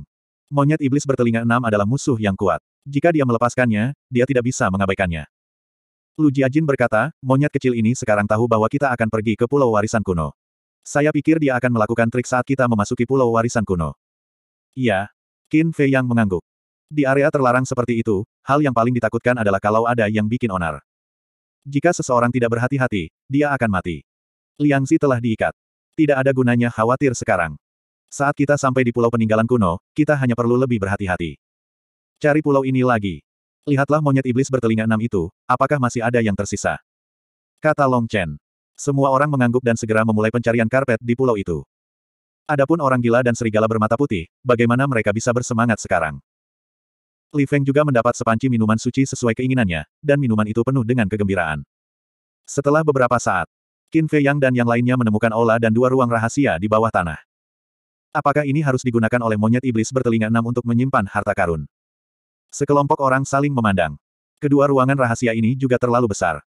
Jika memang benar untuk menyimpan harta karun, berapa jumlah harta karun yang dimiliki monyet siluman bertelinga enam itu? Saya merasa monyet kecil ini pasti mempunyai arti sebenarnya di tangannya. Mu Qingdao. Sebagai penguasa Lautan Timur, pasti ada beberapa. Tapi mungkin tidak banyak. Bagaimanapun, benda ini sudah sangat langka. Lagi pula, monyet iblis bertelinga enam itu tidak dapat memahami makna mendalam dari hukum itu, jadi baginya, hukum itu tidak ada nilainya.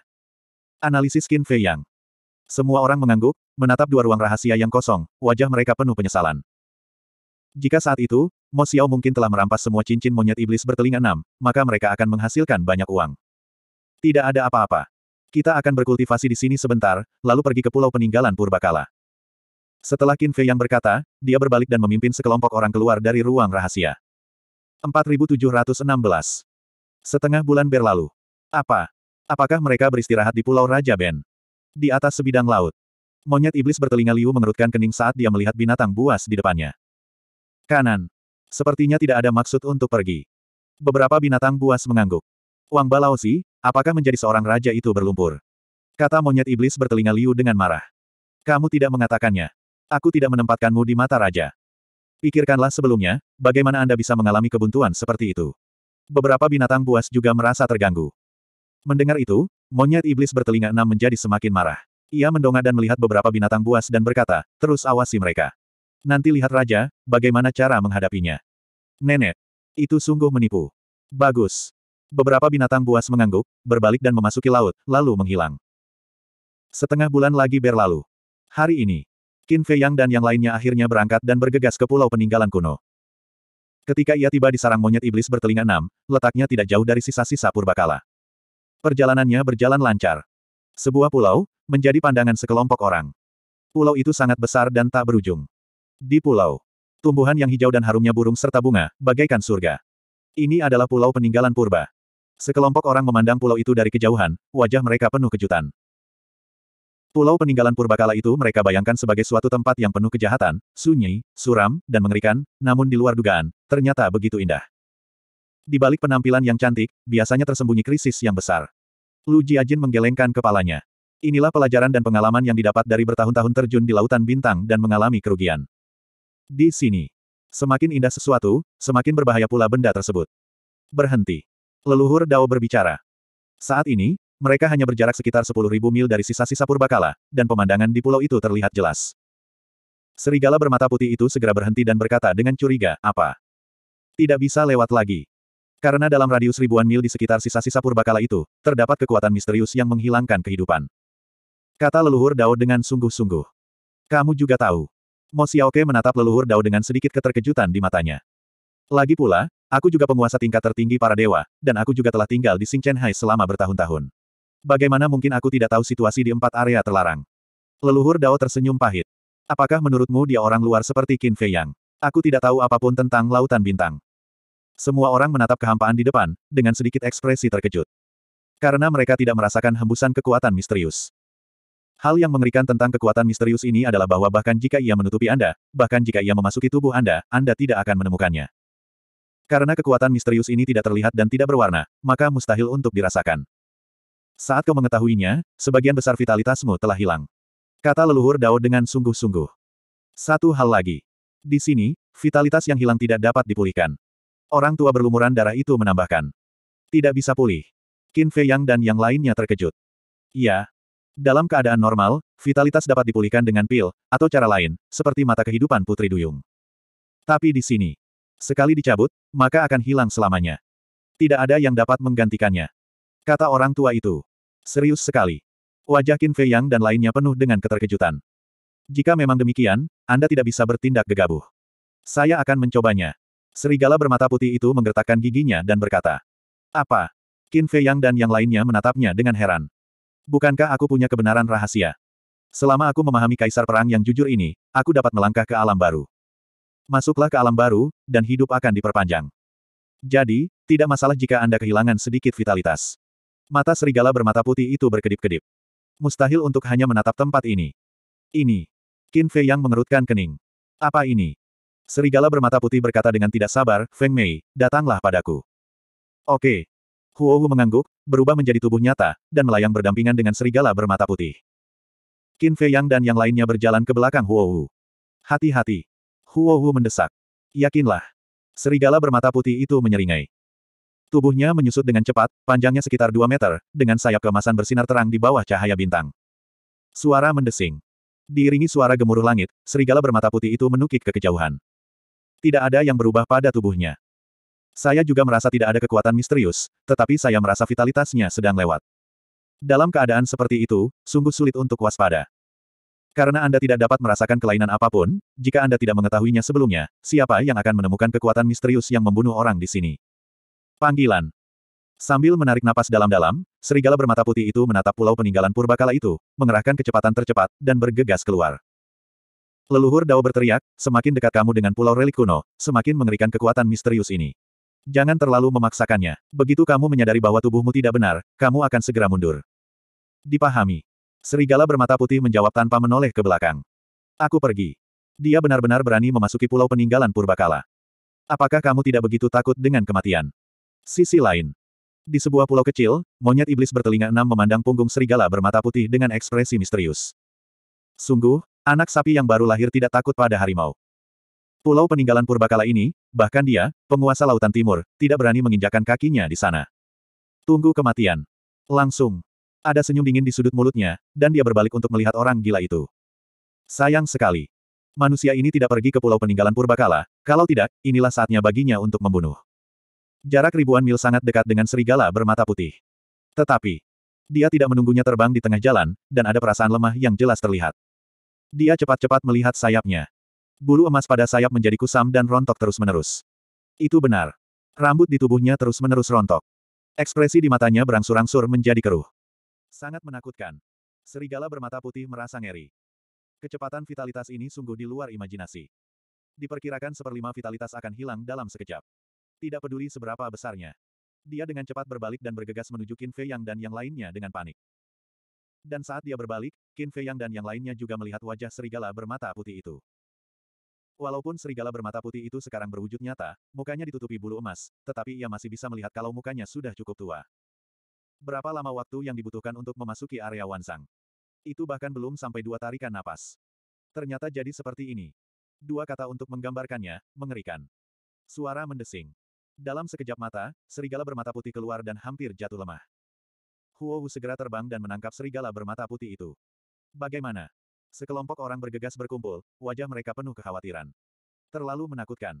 Saya harus minum, saya terkejut. Serigala bermata putih itu berubah kembali ke wujud manusia, mengeluarkan sepanci ramuan ajaib, mengangkat kepalanya, dan meminumnya sambil menggerutu. Ini. Kelompok Qin Fei yang tercengang ketika melihat wujud manusia serigala bermata putih saat ini. Karena serigala bermata putih itu sekarang berkulit kendur, matanya kusam, wajahnya keriput, dan tubuhnya kurus kering. Rambutnya yang semula hitam telah berubah menjadi abu-abu, dan dia seperti pria berusia 50 atau 60 tahun. Berapa banyak vitalitas yang telah hilang? Huo Hu sangat khawatir. Kapan nih, nggak lupa minum. Long Qin juga mengumpat dengan cemberut. Minum dapat menyehatkan pikiran Anda. Serigala bermata putih itu memamerkan giginya, bahkan suaranya serak. Namun dalam beberapa saat, ia berubah dari seorang pemuda yang energi menjadi seorang pria tua berambut abu-abu. Kekuatan misterius ini sungguh mengerikan. Jika serigala bermata putih tidak cukup cepat, mereka mungkin tidak dapat melarikan diri. Apakah ada yang mau mencoba sekarang? Dao Zu bertanya. Semua orang terdiam. Putri Duyung juga membuka mata kehidupan dan menyelimuti serigala bermata putih. Percuma saja. Vitalitasnya, kecuali terobosan basis kultivasi, tidak ada yang bisa membantunya pulih. Dao Zu menggelengkan kepalanya. Sungguh. Meskipun energi kehidupannya sangat besar, penampilan lama serigala bermata putih tidak berubah sedikitpun. Namun, semangatnya jauh lebih baik. Tidak dapat memulihkan vitalitas, tetapi dapat memulihkan kekuatan fisik dan semangat. Jadi, perlahan-lahan, serigala bermata putih tidak lagi selemah sebelumnya. Setidaknya masih kuat. Li Feng mengeluarkan pil dewa kehidupan dan berkata, kakak serigala, itu tidak benar. Kamu seharusnya dipanggil kakek serigala sekarang. Kamu bisa meminumnya dan mencobanya. Serigala bermata putih itu melirik Li Feng dan memamerkan giginya dan berkata, tentu saja kau harus memanggilku kakek, cucu yang baik. Hah? Li Feng tertegun dan tersenyum pahit, saya menggali dan melompat sendiri. Awalnya ingin menggoda serigala bermata putih, tetapi malah berbalik menyerang sang jenderal. Serigala bermata putih tertawa dan menelan pil dewa kehidupan. Ini adalah pil kehidupan dengan delapan kipil berbentuk naga, dan energi kehidupan dapat dibayangkan, tetapi itu tidak akan membantu situasi serigala bermata putih saat ini. Jangan repot-repot. Bukankah itu hanya sedikit vitalitas? Ketika saudaraku berhasil, dia tetap menjadi orang yang bersemangat lagi. Serigala bermata putih itu melambaikan tangannya dengan acuh tak acuh. Grogi. Longkin memutar matanya. Mereka semua khawatir setengah mati, tetapi pria ini baik-baik saja dan tidak menganggapnya serius. Ayo pergi. Jangan buang waktu di sini. Dao Zu menggelengkan kepalanya. Membuang-buang waktu. Apa yang kamu bercanda? Kakak sudah kehilangan begitu banyak vitalitas, bisakah dia pergi begitu saja?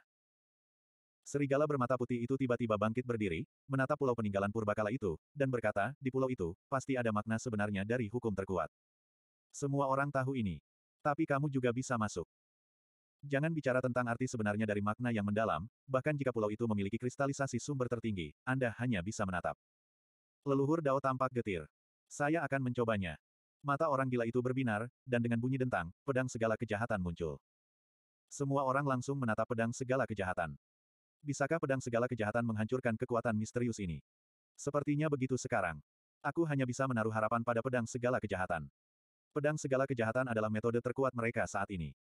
Jika, jika pedang segala kejahatan pun tidak berdaya, maka mereka benar-benar harus menyerah. Teknik pembunuhan macam apa ini? Di pulau, Monyet iblis bertelinga enam itu menahan nafas, menyembunyikan sosoknya, dan menatap curiga ke arah pedang segala kejahatan di tangan orang gila itu. 4717. Kekuatan jahat terus-menerus disuntikan ke dalam pedang segala kejahatan. Ketajaman menyapu langit. Laut yang tenang di bawah juga memicu gelombang besar yang menutupi langit. Orang ini sungguh menakutkan.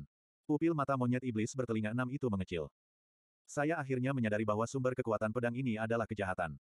Akhirnya, Mata pedang segala kejahatan telah meningkat ke tingkat pertempuran melawan Raja Kerangka di pulau pertama di daerah sekitar bagian dalam Pulau Bintang Tujuh. Ingat di tempat. Ketika orang gila itu tanpa syarat melepaskan kekuatan jahat, aura pedang dari pedang segala kejahatan, secara langsung membunuh kesadaran Raja Kerangka di pulau pertama. Dengan kata lain, ketajaman pedang segala kejahatan kini cukup untuk membunuh Raja Kerangka seketika. Tentu saja mungkin. Semua orang menatap orang gila itu dan berdoa dalam hati. Serang Lausu. Orang gila itu meraung, mencengkeram pedang segala kejahatan di kedua tangannya. Dengan suara keras, pedang segala kejahatan itu tumbuh liar, dan akhirnya berubah menjadi pedang besar, lalu menebas ke arah kehampaan dengan marah. Ke mana pun pedang raksasa itu pergi, langit hancur dan laut tenggelam. Dengan satu pedang, wilayah laut di depan hampir terbagi menjadi dua bagian. Ini adalah pemandangan yang mengejutkan.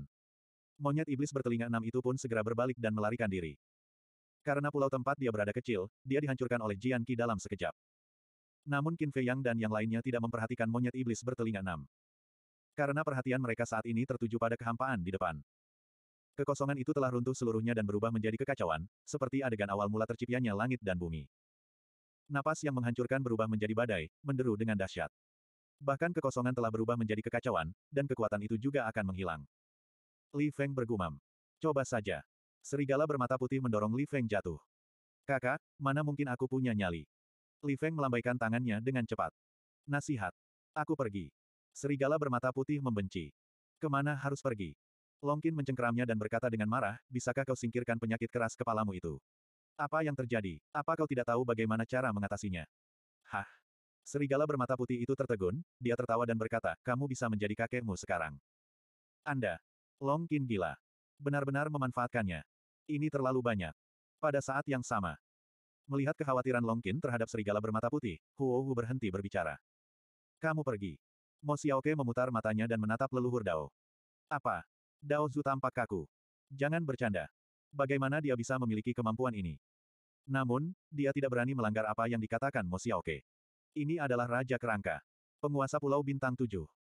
Tidak, harusnya dikatakan bahwa ia adalah penguasa seluruh perairan selatan.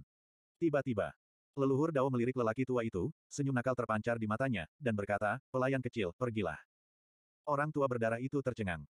Kenapa hal itu menimpanya lagi? Mo Xiaoke, tapi dia memintamu menyebutkan nama. Kamu tidak boleh seperti ini. Apakah kamu tidak takut dengan sumpah darah? Leluhur Dao tampak seperti orang tua yang sedang memakan dingsue. Darah lelaki tua itu tampak kaku, dia hanya bisa menggigit peluru. Serigala bermata putih tidak bisa pergi sekarang. Huo Wu sekarang mengambil alih tugas serigala bermata putih. Namun Qin Fei Yang dan yang lainnya tidak bisa terbang di kehampaan, jadi sekarang mereka hanya bisa bertanya pada Mo Xiaoke, Dao Pao, dan Pak Tua berdarah. Akhirnya, Orang tua itu mengumpulkan keberaniannya dan melangkah ke ketinggian seribu kaki, tetapi dia tidak membuat kemajuan lebih jauh. Ia berdiri di tepi jurang, begitu ada perubahan dalam tubuhnya, ia langsung mundur. Namun, sebelum ia menghembuskan nafas, wajah lelaki tua itu tampak jelas lebih tua. Bagaimana bisa? Orang gila itu mengerutkan kening. Yang lainnya pun tercengang di tempat. Jelas, kekuatan misterius itu masih ada. Pak tua darah pun buru-buru mundur, wajahnya penuh kengerian. Ini terlalu tidak normal. Kekosongan telah runtuh, apakah kekuatan misterius ini masih ada? Serigala bermata putih mengangkat alisnya. Apakah ini benar-benar hanya bisa berhenti di sini? Ada yang salah. Qin Fei yang menggelengkan kepalanya. Ada apa? Semua orang menatapnya dengan curiga. Tingkat bahaya di keempat area terlarang seharusnya hampir sama. Tetapi dilihat dari situasi saat ini, pulau kuno ini jauh lebih berbahaya daripada pulau Kixing. Tidak masuk akal. Mungkinkah? Ada cara khusus untuk memecahkan kekuatan misterius di pulau peninggalan kuno. Qin Fei mengangkat alisnya rata-rat. Kalau tidak ada cara untuk memecahkannya, maka kawasan terlarang ini tidak mungkin dimasuki. Karena bahkan Mo Xiaoke tidak dapat memasuki pulau peninggalan kuno. Metode pemecahan khusus. Sekelompok orang asyik berpikir. Kecil. Tidak ada seorang pun yang benar-benar berhasil memasuki pulau peninggalan purbakala sebelumnya. Orang gila itu menoleh untuk melihat Mo Xiaoke dan bertanya. Sejauh yang saya tahu, tidak. Mo Xiaoke menggelengkan kepalanya. Pada saat ini, mereka bingung. Sudah jauh-jauh datang, tapi tidak bisa menemukan jalan untuk memasuki peninggalan purbakala. Aku pikir pedang segala kejahatan akan berhasil. Lagi pula, begitu kuat. Namun kini, hal itu pun tidak ada gunanya. Memotong. Saya pikir itu menakjubkan. Ternyata tidak lebih dari itu. Monyet iblis bertelinga enam yang melarikan diri ke perairan jauh memandang kelompok orang Qin Fei Yang dengan ejekan di wajahnya. Mo Xiao adalah raja kerangka di perairan selatan, jadi dia tidak tahu banyak tentang apa yang terjadi di perairan timur. Sebagai monyet iblis bertelinga enam di perairan timur, tentu saja ia sangat dikenal. Belum pernah ada seorang pun yang berhasil memasuki pulau peninggalan purbakala itu. Sama seperti Pulau Bintang Tujuh sebelumnya, tempat di mana para dewa dan iblis tidak dapat diprediksi. Serigala bermata putih itu mendesah, Qinzi kecil, jangan berdamai. Qin Fei Yang melirik serigala bermata putih itu, lalu menatap Pulau Sang Guyi lagi, hatinya penuh, menoleh untuk melihat Dong Yuexian, dan berkata, beri aku sedikit kekuatan asal. Apa artinya? Dong Yuexian curiga. Tidak semua orang bisa mengambil risiko. Jadi saya butuh banyak tenaga asli untuk bisa mengapung di laut. Saya ingin mencobanya sendiri. Kata Qin Fei. Dia selalu percaya bahwa tidak ada permainan yang tidak dapat dipecahkan di dunia, tetapi dia belum menemukannya. Jangan impulsif. Putri Duyung memegang tangan Qin Fei Yang dan membujuk dengan cemas. Qin Fei Yang menepuk punggung tangan Putri Duyung, dan tersenyum, seperti yang dikatakan serigala bermata putih, mereka ada di sini. Aku tidak boleh pergi dengan tangan kosong. Lagi pula, serigala bermata putih belum takut menikah. Apa yang kutakutkan? Apakah aku akan menjadi tua di masa depan? Apakah kau masih akan meninggalkanku? Omong kosong apa? Putri Duyung itu mengerang. Tidak apa-apa. Saya memiliki rasa keterukuran. Tidak, saya akan segera berhenti. Qin Fei Yang menghibur. Dasar kau. Putri Duyung menggelengkan kepalanya dan harus melepaskan tangan Qin Fei Yang. Aku juga mau ikut. Jalan setan batin. Iya. Dong Yuexian menatap iblis hati itu dengan seratus kengganan di dalam hatinya, tetapi dia juga mengetahui karakter iblis hati itu, dan hal-hal yang dia putuskan tidak akan berubah karena siapa pun. Misalnya, jatuh cinta padanya. Bahkan Qin Fei Yang, yang paling peduli dengan iblis dalam diri, berulang kali menolaknya. Jika aku tidak pergi, apakah kamu yakin akan memberikan kekuatan sumbernya kepada Qin Fei Yang? Setan itu menatapnya dengan tatapan kosong. Apakah aku orang yang egois? Dong Yuexian menggerutu tidak puas. Oke. Iblis itu mengusap kepala Dong Yuexian, menggelengkan kepalanya dan tersenyum, berikan padaku kekuatan sumbernya, aku tidak akan mengembalikannya kepadamu setelah mengambil kekuatan sumbermu. Kelembutan itu seperti air. Serigala bermata putih itu menggelengkan kepalanya, wajahnya yang berambut abu-abu penuh dengan emosi. Apakah ini benar-benar iblis yang dikenalnya? Dong Yuexian menamparkan tangan Happy Demon dengan ketidakpuasan.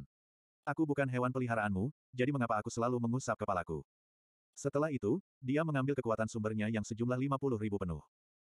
Dengan lambaian iblis hati, kekuatan asal 50 ribu dao berubah menjadi perahu kecil dan melayang menuju laut di bawah. Kemudian, keduanya saling memandang, lalu melompat turun dan mendarat di perahu. Ikuti dengan saksama. Dengan suara keras, perahu kecil itu mendarat di laut yang bergelora, naik turun mengikuti ombak. Hati-hati.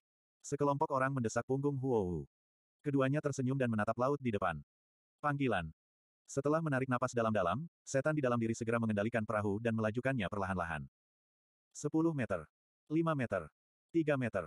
1 meter. Akhirnya, perahu kecil itu memasuki wilayah yang tak terbatas. Keduanya segera menutup mata, menenangkan diri, dan merasakan kekuatan misterius itu. Tidak ada gaya yang benar-benar tidak terlihat. Jejak tertentu akan tertangkap. Saya berharap kekuatan asal dapat membantu mereka memblokir kekuatan ini. Putri Duyung bergumam. Iya. Dong Yuexian juga mengangguk, wajahnya penuh kekhawatiran. Namun, saat berbicara, wajah Qin Fei Yang dan Iblis Hati sudah terlihat jelas, dan mereka menjadi tua. Untungnya, kekuatan misterius itu tidak terlalu kuat hanya di bagian tepinya.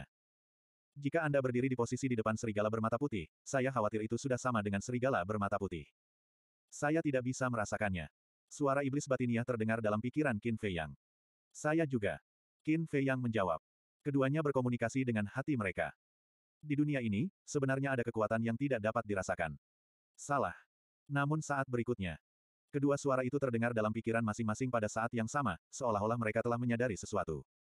Ikuti dengan saksama. Orang gila itu mengemudikan perahu dan mundur. Keduanya membuka mata serentak, menatap ke arah kehampaan di depan. Lupakan saja jika tidak berhasil. Sebagai seorang tetua, penguasa negara memandang Qin Fei Yang dan iblis hati seperti ini, dan dia tidak tahan.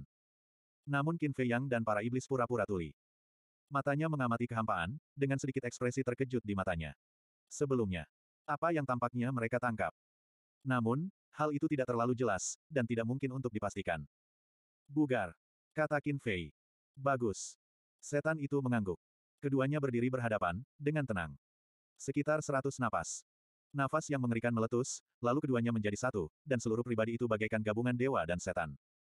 Apalagi yang kamu lakukan? Ji Tianjun curiga. Akan tetapi setelah serangan itu, Qin Fei yang tetap tidak menghiraukannya, dan kembali mengendarai perahu kecil itu ke dalam jangkauan tak terbatas. Kemudian, dia menutup matanya. Tubuh dan pikiran memasuki keadaan halusinasi. Saat ini, dia meninggalkan semua pikiran yang mengganggu, dan tubuh serta pikirannya murni. Ini, Perlahan-lahan, Qin Fei Yang menarik napas sejenak. Ini sebenarnya adalah nafas kekuatan hidup dan mati. Bagaimana ini bisa terjadi? Mengapa kekuatan misterius ini mengandung nafas kehidupan dan kematian? Kekuatan hidup dan mati adalah hukum kehidupan dan kematian. Kekuatan hidup dan mati. Hukum kehidupan dan kematian. Jika memang begitu, kalau dia membuka hukum kehidupan dan kematian, bisakah dia menyesuaikan diri dengan kekuatan misterius ini? Di sinilah akhir pikiranku. Qin Fei Yang segera membuka hukum hidup dan mati, yang berpusat padanya, menyerbu ke segala arah. 4718. Mengapa dia membuka hukum kehidupan dan kematian? Bahkan kekuatan asal-usul dan pedang segala kejahatan tidak dapat bekerja. Apakah hukum kehidupan dan kematian baik-baik saja? Di atas langit. Long Chen dan yang lainnya tidak tahu bahwa Qin Fei Yang merasakan napas hukum kehidupan dan kematian, tetapi mereka dapat dengan jelas melihat kekuatan hukum kehidupan dan kematian yang dibuka oleh Qin Fei Yang, jadi mereka semua tampak bingung. Hal yang sama berlaku untuk monyet iblis bertelinga enam di kejauhan. Namun sebagai perbandingan, ada guncangan dalam hatinya.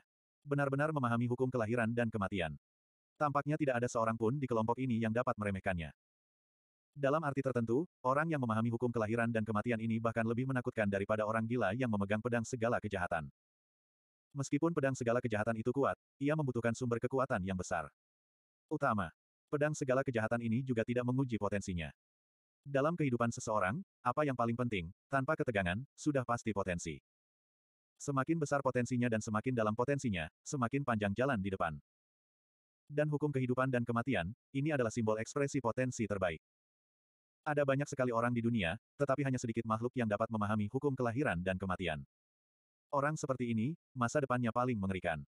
Karena di masa depan, tinggi badan mereka akan lebih tinggi dari yang lain. Dan pada saat yang sama, Long Chen dan yang lainnya juga memperhatikan bahwa penampilan Qin Fei yang semakin menua. Apa sih yang sedang dia lakukan? Jika tidak berhasil, berhenti saja. Apa yang dapat kamu lakukan? Dong Yuexian memarahi dengan marah, wajahnya penuh kekhawatiran. Jangan khawatir. Baik Qin Fei Yang maupun Iblis Hati, mereka semua adalah orang-orang yang terukur dengan baik. Tidak ada yang namanya kemahiran. Kata orang gila. Tentu saja, orang yang dikhawatirkan Dong Yuexian bukanlah Qin Fei Yang, melainkan para iblis. Ini cukup untuk terlihat. Perasaannya terhadap setan itu nyata. Mari kita bicarakan tentang Qin Fei Yang. Hukum kehidupan dan kematian berbondong-bondong ke segala arah. Dia segera menemukan bahwa saat dia melepaskan hukum kelahiran dan kematian, persepsinya tentang kekuatan misterius itu langsung meningkat berkali-kali lipat. Itu benar. Kekuatan misterius ini memang mengandung hukum kehidupan dan kematian. Dan, sangat cocok. Sudah terlambat untuk mengatakannya, maka cepatlah. Pada saat ini, rambut panjang Qin Fei Yang sudah setengah putih dan setengah hitam. Pada saat yang sama, wajah lamanya berhenti berubah.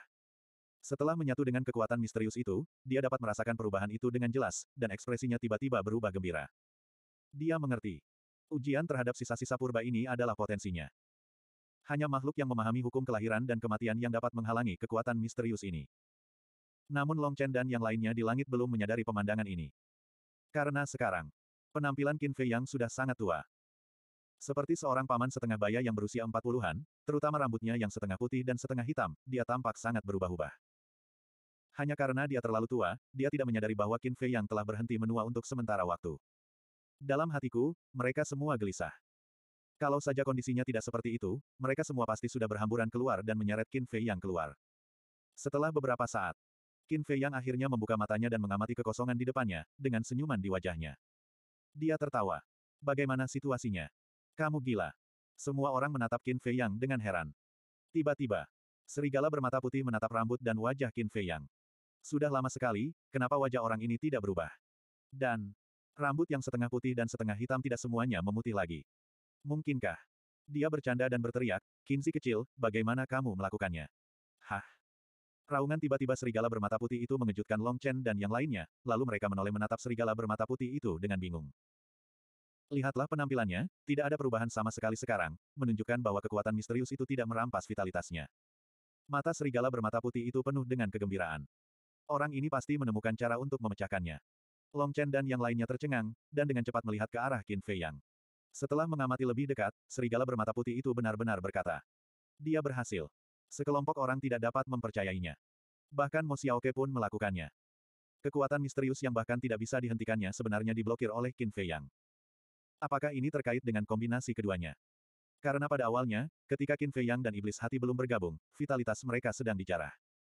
Namun kini, saat keduanya digabungkan, kekuatan misterius ini tidak memiliki efek apa pun. Bukankah ini karena penggabungan tersebut? Hanya penjelasan ini yang masuk akal. Qin Fei yang melambaikan tangannya, dan perahu itu menerobos ombak dan berlayar menuju pulau peninggalan kuno. Bagaimana dengan kita? Serigala bermata putih itu segera berteriak. Jangan khawatir. Saya akan mencoba dulu, apakah saya bisa mendarat di pulau itu. Qin Fei yang tersenyum. Lihat apa yang membuat orang-orang ini bersemangat. Saya takut meninggalkan mereka sendirian. Ternyata memang begitu. Serigala bermata putih itu tiba-tiba tersenyum, tetapi segera mengikutinya, jejak kejengkelan muncul di ekspresinya, dan dia mengutuk dan berkata, aku tahu bahwa kedua orang ini punya cara, apa yang akan kulakukan. Sekarang seperti hantu ini, benar-benar jelek. Sebenarnya, dia masih keberatan. Meskipun dia telah memiliki kekasih Huohu, dia belum menikah secara resmi. Sekarang dia dan Huohu berjalan bersama. Mereka yang tahu tidak apa-apa, tetapi mereka yang tidak tahu mengira bahwa dia adalah kakek Huohu. Atau membicarakannya di belakangnya, sapi tua itu makan rumput lembut. Sungguh suatu kerugian. Mustahil. Dia benar-benar berhasil. Monyet iblis bertelinga enam juga memandang Qin Fei Yang, yang terus-menerus mendekati sisa-sisa kuno itu. Ini lebih mengejutkan daripada melihat Tuhan Pencipta. Sisa-sisa kuno sebuah pulau yang tidak akan pernah bisa dimasuki oleh siapa pun, kini telah berhasil dimasuki oleh manusia yang begitu lemah. Itu suatu keajaiban. Tuanku, tidakkah kau akan menghentikannya? Tanya seekor binatang buas di sebelahnya. Ketika monyet monster bertelinga enam mendengar ini, dia menamparnya dan berkata dengan marah, dia hampir sampai di pulau kuno. Bagaimana aku bisa menghentikan raja ini? Kamu bisa menanggungnya, pergilah. Binatang buas itu terkekeh. Aku benar-benar ingin mengatakan, bahkan raja pun tidak berani pergi, aku ini karakter yang kecil, bagaimana mungkin aku berani? Namun, saya benar-benar harus menemukan cara untuk menghentikan mereka. Monyet iblis bertelinga enam itu menatap punggung Qin Fei yang sambil berpikir. Perahu itu melaju sangat lambat. Jarak ribuan mil membutuhkan ratusan napas. Karena Qin Fei yang khawatir selain kekuatan misterius itu, mungkin ada krisis lain di sini. Lagi pula, belum pernah ada seorang pun yang berhasil memasuki peninggalan purbakala itu. Tidak seorang pun tahu apakah ada krisis lainnya. Hati-hati, itu selalu benar.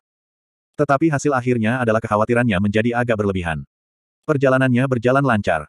Selain badai, tidak ada krisis. Perahu itu berlabuh dengan mulus. Pantai di depanku adalah pantai berpasir kuning. Di bawah gerusan laut sepanjang tahun, pantai terlihat sangat bersih tanpa sampah sedikit pun. Di luar pantai ada rumput hijau. Rumput bergoyang tertiup angin, memancarkan vitalitas. Di dalamnya, ada pegunungan dan sungai yang indah. Dan, di sini sangat sepi. Kecuali suara deburan ombak laut, tidak ada kebisingan lain, yang membuat orang merasa rileks dan bahagia. Qin Fei Yang mengamati pantai dan rerumputan, dan tidak menemukan binatang buas atau kerangka, juga tidak merasakan adanya bahaya. Kemudian dia melangkah dan berjalan ke pantai dengan hati-hati. Perasaan lembut ada dalam pikiranku. Pasirnya sangat halus. Qin Fei Yang melangkah beberapa langkah, dan suasana tenang di sekelilingnya tidak terganggu oleh kedatangannya. Melambai. Perahu kecil itu runtuh, berubah menjadi kekuatan sumber, dan menyapu di depan Qin Fei Yang, membentuk perisai. Bagaimanapun juga, di tempat seperti itu, Anda tetap harus berhati-hati dan waspada setiap saat. Dia berjalan melintasi pantai, melintasi rerumputan, berdiri di atas gunung, memandang ke arah pegunungan dan sungai-sungai di depannya. Saat ini, bahkan sinsingnya pun tak kuasa menahan rasa kaget. Di depan, ada puncak-puncak besar menjulang ke angkasa, dan sungai-sungai yang berkelok-kelok melewati pegunungan, seperti naga raksasa. Pegunungan itu masih dikelilingi oleh kabut putih. Di seberang lereng gunung yang terdapat beberapa puncak raksasa, beberapa air terjun megah mengalir deras, memercikkan tetesan air kristal. Pemandangannya indah, bagaikan negeri dongeng di bumi. Tidak dapat menemukan kekurangan apa pun. Jika ada lebih banyak burung bangau, atau beberapa binatang peri, maka ini adalah negeri ajaib yang sesungguhnya. Secara keseluruhan. Sekilas, pemandangan indah terhampar di mana-mana, membuat orang terpesona. Apa yang terjadi? Apakah dia tidak pergi dan melihat? Mengapa dia masuk sendirian? Dong Yuexian mengerutkan kening. Setan hati cocok sama dia, apa yang kamu takutkan? Orang gila itu memutar matanya. Saya. Dong Yuexian mengambilnya kembali saat dia mencapai bibirnya. Dia menyadari hal itu, sambil memikirkan para putri dari dinasti tengah yang bermartabat, tidak ada alasan untuk membuat orang-orang ini marah. Kuncinya adalah, dia juga tidak bisa berbicara tentang orang-orang ini. Segera, dia melihat Qin Fei yang kembali lagi, muncul di pantai, dan dia tak dapat menahan diri untuk tidak menghela napas lega. Hati nurani berbicara. Dia sama sekali tidak percaya pada Qin Fei Yang. Di matanya, siapa pun yang ada di dunia ini adalah orang yang egois. Dan meskipun iblis hati dan Qin Fei Yang bersatu, hubungan antara keduanya ada di depan mereka. Jika Qin Fei Yang bersikeras mencuri harta karun, iblis hati tidak dapat membantunya. Dalam perjalanan pulang, kecepatan Qin Fei Yang sangat cepat. Setelah sepuluh kali bernapas, ia kembali ke perairan luar. Huo Wu segera memimpin semua orang ke sisi Qin Fei Yang, setingkat dengan Qin Fei Yang. Brengsek, bagaimana kau melakukannya? Serigala bermata putih segera bertanya dengan penuh semangat. Wajah orang lain juga penuh harapan. Melihat sekelompok orang seperti bayi yang penasaran, Qin Fei Yang tersenyum dan tidak mengatakan apa-apa. Jangan tertawa. Tertawa lagi, aku beres-beres. Orang gila itu mengayunkan pedang segala kejahatan dan menatap Qin Fei Yang dengan tatapan mengancam. Qin Fei Yang menggelengkan kepalanya dan tertawa, mengangkat tangannya, mengangkat keempat jarinya, dan berkata, empat kata, hukum hidup dan mati. Hukum kehidupan dan kematian. Sekelompok orang terkejut. Kanan. Hukum kehidupan dan kematian. Qin Fei Yang mengangguk. Jangan menahan nafsu makan, bisakah kamu menghabiskan semuanya sekaligus? Serigala bermata putih memiliki wajah gelap. Orang ini pasti sengaja. Qin Fei Yang tersenyum dan memberitahu sekelompok orang tentang temuannya sebelumnya dan verifikasi selanjutnya. Apa? Kekuatan misterius ini sebenarnya mengandung aura hukum kehidupan dan kematian. Sekelompok orang tercengang di tempat. Mengapa aku tidak mengetahuinya? Serigala bermata putih itu mencurigakan. Karena kamu belum menguasai hukum kehidupan dan kematian. Sekarang saya pada dasarnya yakin. Orang yang belum menguasai hukum kehidupan dan kematian tidak akan pernah bisa merasakan hukum kehidupan dan kematian dalam kekuatan misterius ini. Kata Qin Fei Yang. 4719. Kalau begitu, hanya mereka yang menguasai hukum hidup dan mati yang bisa memasuki pulau peninggalan purba. Long Chen bertanya. Menurutku, seharusnya seperti ini. Qin Fei yang mengangguk. Mendengar ini, wajah sekelompok orang dipenuhi dengan senyum kecut. Hukum kehidupan dan kematian. Sejauh yang mereka ketahui, seluruh alam awan surgawi dan kerajaan Tuhan hanya diperintah oleh Qin Fei Yang, iblis hati, dan kerajaan Tuhan. Bisa membayangkan. Berapa banyak makhluk yang ada di alam awan surgawi dan kerajaan Tuhan. Bicara saja tentang alam awan langit, jumlahnya tidak ada ratusan juta. Ini belum menambahkan neraka Pluto, alam kuno, Dakin, dan benua yang terlupakan. Mengenai kerajaan Tuhan. Niscaya, lebih banyak lagi. Jika dihitung dengan cara ini, nilainya adalah satu berbanding satu miliar. Kondisi ini sungguh berat.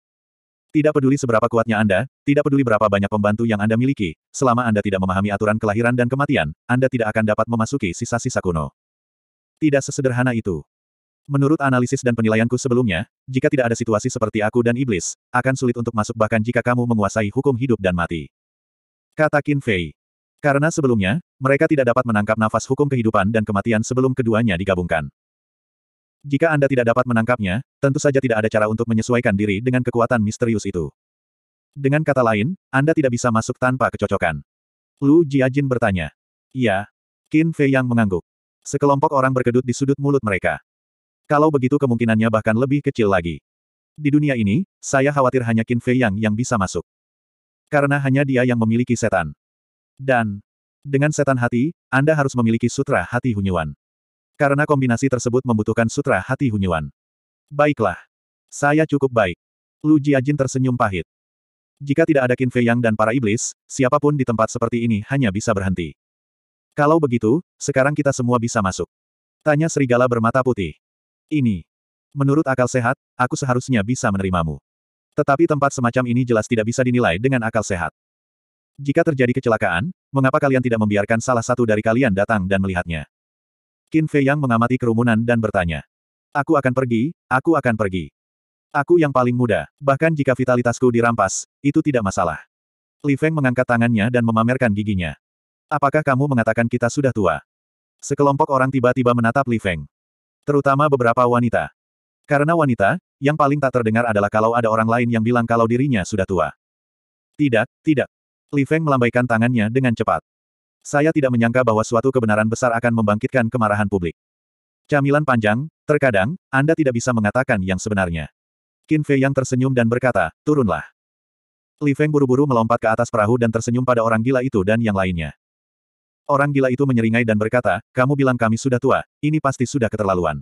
Tapi kalau kamu mau bilang kami sudah tua, maka memang pantas disebut tua sekarang. Gulungan. Wajah serigala bermata putih itu berubah hitam. Kakak jadi begini, bukankah karena dia maju ke garis depan, dan sekarang dia masih menertawakannya? Apakah ada rasa kemanusiaan? Qin Fei Yang menggelengkan kepalanya dan tersenyum. Bersama orang-orang ini, di lingkungan mana pun Anda berada, Anda tidak akan bosan. Karena mereka semua adalah pemain aktif. Langsung.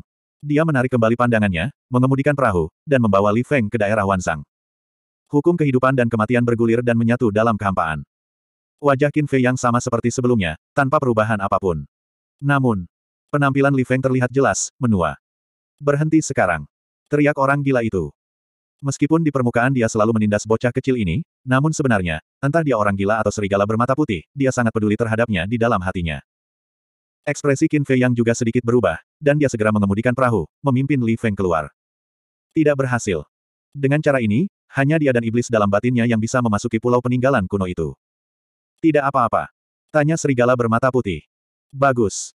Li Feng menggelengkan kepalanya dengan rasa takut yang masih ada, dan dengan lambaian tangannya, kekosongan itu berubah menjadi cermin. Dia menatap dirinya sendiri di cermin dengan ekspresi sedikit terkejut. Kemudian, di bawah tatapan semua orang yang tercengang, dia mengucapkan kalimat yang menjengkelkan, kelihatannya jauh lebih dewasa dari sebelumnya. Sepertinya itu hal yang baik. Sudut mulut semua orang berkedut dan mereka ingin menamparnya. Dong Yuexian mengerutkan kening dan berkata, jadi sekarang, kita hanya bisa berdiri di sini dan menatap. Kalau tidak, Dong Tianchen tersenyum pahit. Jelas. Bahkan jika Qin Fei Yang dan Iblis Hati bisa masuk, mereka tidak akan bisa menginjakan kaki di sisa-sisa kuno itu. Brengsek. Orang gila itu meraung kesal. Kalau begitu kamu tunggu saja di luar. Pulau peninggalan Purbakala itu memang besar, tetapi sekarang aku dan Iblis Hati telah bersatu, kecepatannya tidak lambat, tidak akan butuh waktu lama untuk mencari ke seluruh pulau. Qin Fei Yang tersenyum. Lalu siapa tahu, berapa banyak harta karun yang kamu temukan? Dong Yuexian menggerutu. Qin Fei Yang juga tidak marah, dan tersenyum ringan, jika kamu tidak khawatir, kamu bisa masuk bersamaku. Begitu kata-kata ini keluar, Dong Yuexian langsung membeku di sana. Pokoknya, tidak peduli berapa banyak hukum terkuat yang ada, salah satunya adalah hukum saudara, dan tidak ada seorang pun yang dapat mengambilnya. Serigala bermata putih tersenyum. Kakak. Salah. Kakek, jangan lupa janjimu padaku. Mo Xiaoke mengedipkan matanya yang besar dan menatap serigala bermata putih itu dengan penuh cinta. Serigala bermata putih itu tampak kaku. Saya benar-benar lupa yang ini. Salah. Kakek. Dia langsung menatap Mo Xiaoke dan mengeluh dengan serius, Xiaoke, jika kamu menginginkan ini, saudara ke akan menyesalinya. Jangan-jangan-jangan. Mo Xiaoke menggelengkan kepalanya cepat dan berkata sambil menyeringai, kakak, kamu yang paling tampan. Hampir sama saja. Serigala bermata putih itu terkekeh. Wajah tua itu membuatnya tampak seperti lelaki tua malang yang tidak dapat dibedakan darinya. Kalau begitu aku akan pergi. Kalian hati-hati. Qin Fei yang mendesak, lalu dia mengemudikan perahu kecil itu menuju pulau peninggalan Purbakala lagi. Tuanku, mengapa Anda tidak melakukannya? Bukankah ini kesempatan yang bagus? Perairan yang jauh. Melihat monyet iblis bertelinga enam itu tak bergerak dan tak bereaksi apa pun, binatang buas di sebelahnya mendesak. Kentut. Monyet iblis bertelinga enam itu berbalik dan lewat dengan satu telinganya. Kenapa memukulku lagi? Binatang buas itu sangat dirugikan. Apakah kamu otak babi? Pedang orang gila yang penuh kejahatan itu masih ada di sana, kau masih membiarkan raja membunuh mereka. Apakah kau mencoba membunuh raja? Lalu mengambil alih kekuasaan raja dan menguasai lautan timur. Kata monyet iblis bertelinga Liu dengan marah. Apa? Binatang buas itu panik, dan dengan cepat berkata, Tuanku, bagaimana aku bisa memiliki keberanian? Lagi pula, aku tidak memiliki kekuatan untuk menguasai lautan timur. Jadi, jika kamu memiliki kekuatan ini, apakah kamu benar-benar ingin menggantikan raja ini? Monyet iblis bertelinga enam itu berwajah hitam. Tidak, tidak. Bahkan dengan kekuatan ini, aku akan selalu menjadi pengikut kecilmu, sang raja. Binatang buas itu tersenyum datar. Si monyet monster bertelinga liu memutar bola matanya dan mendongak ke arah orang gila itu, tampak sangat kesal. Qin Fei yang telah pergi ke pulau peninggalan kuno, apa yang kau lakukan dengan pedang segala kejahatan? Apakah kamu tampan? Kamu bermain untuk siapa? Orang gila kecil, kau tidak bisa ceroboh. Serigala bermata putih berbisik. Menyapu sekitar laut. Sekarang Qin Fei yang dapat memasuki pulau peninggalan kuno, mereka sudah bersemangat dan punya waktu untuk memikirkan masalah lain. Iya. Lu Jiajin mengangguk. Monyet iblis bertelinga enam sendiri berkata, untuk mencegah mereka meninggalkan Laut Timur hidup-hidup, mereka harus berhati-hati dan waspada, jangan sampai orang ini tiba-tiba membunuh mereka dan membunuh mereka secara tiba-tiba. Terutama pedang segala kejahatan. Sebelum Qin Fei yang kembali dari peninggalan kuno, dia harus menyimpannya. Karena selama pedang segala kejahatan masih ada, sekalipun monyet iblis bertelinga enam punya nyali, dia tidak berani lari membuat onar. Lagi pula, orang ini juga takut mati. 4720. Mari kita bicarakan tentang Qin Fei Yang. Kendarai perahu dan mendarat di pulau lagi. Tak lama kemudian, sampailah ia di pegunungan depan, sambil memandangi gunung-gunung dan sungai-sungai di depan. Saya tidak tahu seberapa besar pulau ini. Qin Fei yang berbisik. Karena keadaan gabungan hanya dapat bertahan selama setengah waktu, banyak waktu telah terbuang sia-sia sebelumnya, jadi Anda harus bergegas. Dia melompat dan mencoba terbang. Masih belum bisa terbang. Maka Anda hanya dapat menemukannya secara perlahan. Pikiran-pikiran spiritual bergulir, meliputi segala arah dalam sekejap. Tak peduli apakah di dalam air atau di bawah tanah, ia tidak dapat lepas dari pencariannya. Anehnya, ada ikan di dalam air. Masih ada makhluk di tempat seperti ini. Qin Fei yang melompat maju, bagaikan seekor kera yang lincah, ia pun segera jatuh ke sungai. Ia mengangkat tangannya dan melambaikan tangan, sungai pun mengalir deras, dan muncullah seekor ikan besar. Qin Fei yang melambaikan tangannya, seekor ikan besar terpenjara dalam kehampaan, lalu terbang di depannya. Ikan besar panjangnya bisa mencapai setengah meter. Sisik-sisik di seluruh tubuhnya berwarna putih susu. Sekilas, sisik-sisik itu tampak seperti batu giok bening yang sangat indah. Qin Fei yang melepaskan pikiran spiritualnya dan berjalan menuju ikan besar. Setelah diperiksa, ia menemukan bahwa ikan besar ini, selain sedikit lebih baik, tidak memiliki hal yang istimewa, dan bahkan tidak memiliki dasar budidaya. Itu adalah ikan yang sangat biasa. Ikan biasa bisa bertahan hidup di Pulau Purba. Tidak kehilangan vitalitas. Aneh sekali. Tetapi sekarang bukan saatnya untuk mempelajarinya. Qin Fei yang melambaikan tangannya, dan kekuatan untuk memenjarakan ikan besar itu pun lenyap. Setelah ikan besar itu kembali bebas, ia menyelam ke dalam air dengan bunyi gedebuk, dan menghilang tanpa jejak dalam sekejap mata. Setelah mencari beberapa saat, Qin Fei yang melihat sebuah danau. Danau yang luasnya bisa mencapai ribuan kaki ini menghadirkan fenomena aneh nan aneh. Ada gunung-gunung hijau dan air hijau di sekelilingnya, tetapi danau itu membeku, dan embun bekunya menguap. Mendekati danau, Qin Fei yang merasakan arus dingin yang menggigit. Kerak es muncul di alis dan rambut. Jika terjadi sesuatu yang salah, pasti ada setan. Mata Qin Fei yang berkedip-kedip, dan pikiran spiritualnya melesat pergi, menutupi danau es. Langsung. Dia adalah sebuah lelucon. Bahkan pikiran ilahi dapat merasakan hawa dingin yang mencengangkan. Mungkinkah? Qin Fei yang tiba-tiba tampak teringat sesuatu, dan matanya tiba-tiba berkedip. Itu benar. Arti sebenarnya dari hukum es. Karena hanya makna mendalam dari hukum eslah fenomena aneh seperti itu dapat ada. Sinar kekuatan asal muncul. Qin Fei yang melambaikan tangannya, dan kekuatan asal meledak ke dalam danau es. Disertai ledakan keras, danau es itu pecah di tempat, menampakkan kawah berukuran beberapa ribu kaki. Di dasar lubang itu, ada sekumpulan api seperti kristal es, seperti bunga teratai es. Qin Fei yang sangat bersemangat. Berapa lama waktu yang dibutuhkan untuk menemukan makna sejati dari makna yang mendalam? Diperkirakan pulau peninggalan purbakala ini juga memiliki tak kurang dari tujuh makna yang mendalam. Dia melompat, mendarat di dasar lubang, dan berjalan menuju makna sebenarnya dari makna sebenarnya. Tapi pada saat ini, es yang hancur itu tiba-tiba bergerak. Suara mendesing. Ikuti dengan saksama. Bongkahan-bongkahan es terangkat ke udara, melayang di angkasa, bergetar terus-menerus. Iya, Qin Fei yang menyaksikan kejadian ini dengan curiga. Akhirnya, bongkahan es di seluruh danau es melonjak tinggi ke angkasa, dan napas yang mengerikan berangsur-angsur muncul. Apakah mungkin untuk menjadi monster? Qin Fei yang menggerutu. Kalau saja dia tidak pernah mengalami di padang pasir, dia tidak akan memikirkan hal ini. Tapi sekarang, pasir kuning dari gurun tandus dapat mengembunkan monster pasir kuning, dan es batu ini juga dapat berubah menjadi monster. Sekarang, dia melangkah maju menuju kebenaran hukum es, dan sumber kekuatan muncul, menyelimuti kebenaran dari kebenaran. Tapi pada saat berikutnya, sebuah napas besar keluar, menghancurkan kekuatan sumber aslinya. Ikuti dengan saksama. Arti sebenarnya dari makna yang mendalam naik ke langit, tergantung di tengah-tengah semua batu es. Apa yang terjadi? Qin Fei yang terkejut. Sebuah pemandangan menakjubkan terjadi kemudian. Bongkahan es yang tak terhitung jumlahnya berkumpul dengan cepat, tetapi dalam sekejap mata, monster es muncul di bawah pandangan Qin Fei Yang. Monster es ini tingginya ribuan kaki, bagaikan gunung besar, ganas dan perkasa. Sungguh. Hati Qin Fei Yang bergetar. Apa yang sebenarnya Anda takutkan? Dan, Aura yang dipancarkan monster es ini jauh lebih kuat daripada monster pasir kuning dan monster pasir emas. Itu bahkan lebih mengerikan daripada monster yang muncul terakhir di padang pasir yang sunyi. Mengaum. Terdengar suara gemuruh. Monster es mengangkat tinjunya dan membunuh Qin Fei Yang. Qin Fei Yang tidak punya pilihan. Karena makna sejati dari makna mendalam sekarang ada di dalam tubuh monster es, ia harus dikalahkan untuk mendapatkan makna sejati dari makna mendalam ini. Ledakan.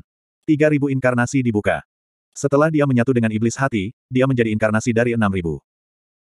6000 inkarnasi, semuanya menguak rahasia utama, empat lapis keinginan surgawi, menghantam tinju monster es itu dengan dahsyat. Ledakan. Disertai serangkaian suara keras yang mengguncang langit, monster es itu sebenarnya tengah menghancurkan rahasia pamungkas satu persatu. Apa? Wajah Qin Fei yang tampak suram. Empat keinginan surga. Arti utama dari 6000 hukum kehidupan dan kematian. Ada pula puluhan ribu makna hakiki hukum yang terkuat. Namun meski begitu, sebenarnya dia bukanlah lawan dari monster es ini, sekuat apa kekuatan ini. Ledakan. Tinju itu terjatuh. Gunung ini lebih besar dari gunung rata-rata. Bagaimana mungkin Qin Fei Yang berani menghadapinya secara langsung, dan buru-buru mundur. Tinju itu menghantam tanah. Retakan demi retakan muncul, bumi berguncang, gunung-gunung dan sungai-sungai runtuh di semua sisi, persis seperti pemandangan akhir hari.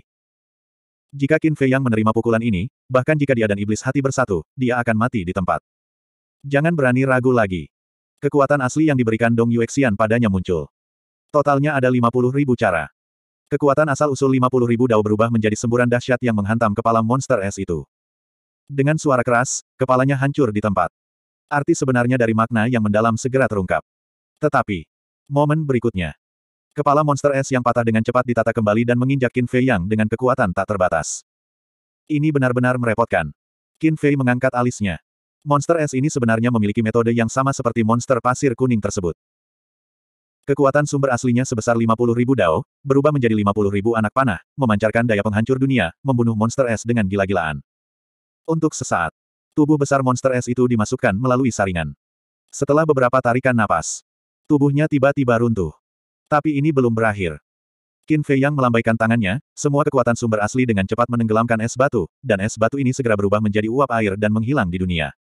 Akhirnya, di tempat ini, tak ada lagi es batu, bahkan tidak ada lagi bui es, hanya makna sebenarnya dari makna yang mendalam, yang tertahan dalam kekosongan di atas. Tidak mungkin untuk membentuknya kembali seperti ini. Qin Fei Yang menggerutu. Menurut pemahaman monster pasir kuning, hanya di tempat yang ada pasir, ia dapat terlahir kembali secara terus-menerus. Namun, suaranya belum berakhir. Air sungai di kejauhan naik ke udara dan berubah menjadi gelombang besar, membanjiri langit, dan mengalir deras ke sini. Apa yang terjadi? Qin Fei yang terkejut. Tunggu. Tiba-tiba, matanya bergetar.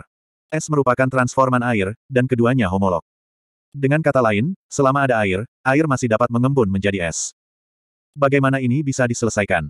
Aku tidak bisa menghancurkan makna sebenarnya dari hukum es. Qin Fei yang mengerutkan kening. Dia telah melihat bahwa alasan mengapa monster es dapat terus beregenerasi sepenuhnya karena makna sebenarnya dari hukum es. Dengan kata lain, Inilah makna sebenarnya dari makna mendalam inilah yang menuntun semua ini. Dan masih banyak lagi. Saya ingat ketika menghadapi monster pasir kuning, ada kesadaran yang tersembunyi di kristal energi itu. Sama. Kesadaran juga tersembunyi dalam api yang dilihat oleh kerangka itu. Mungkinkah itu? Ada pula kesadaran dalam kebenaran yang mendalam ini. Kepikiran soal ini.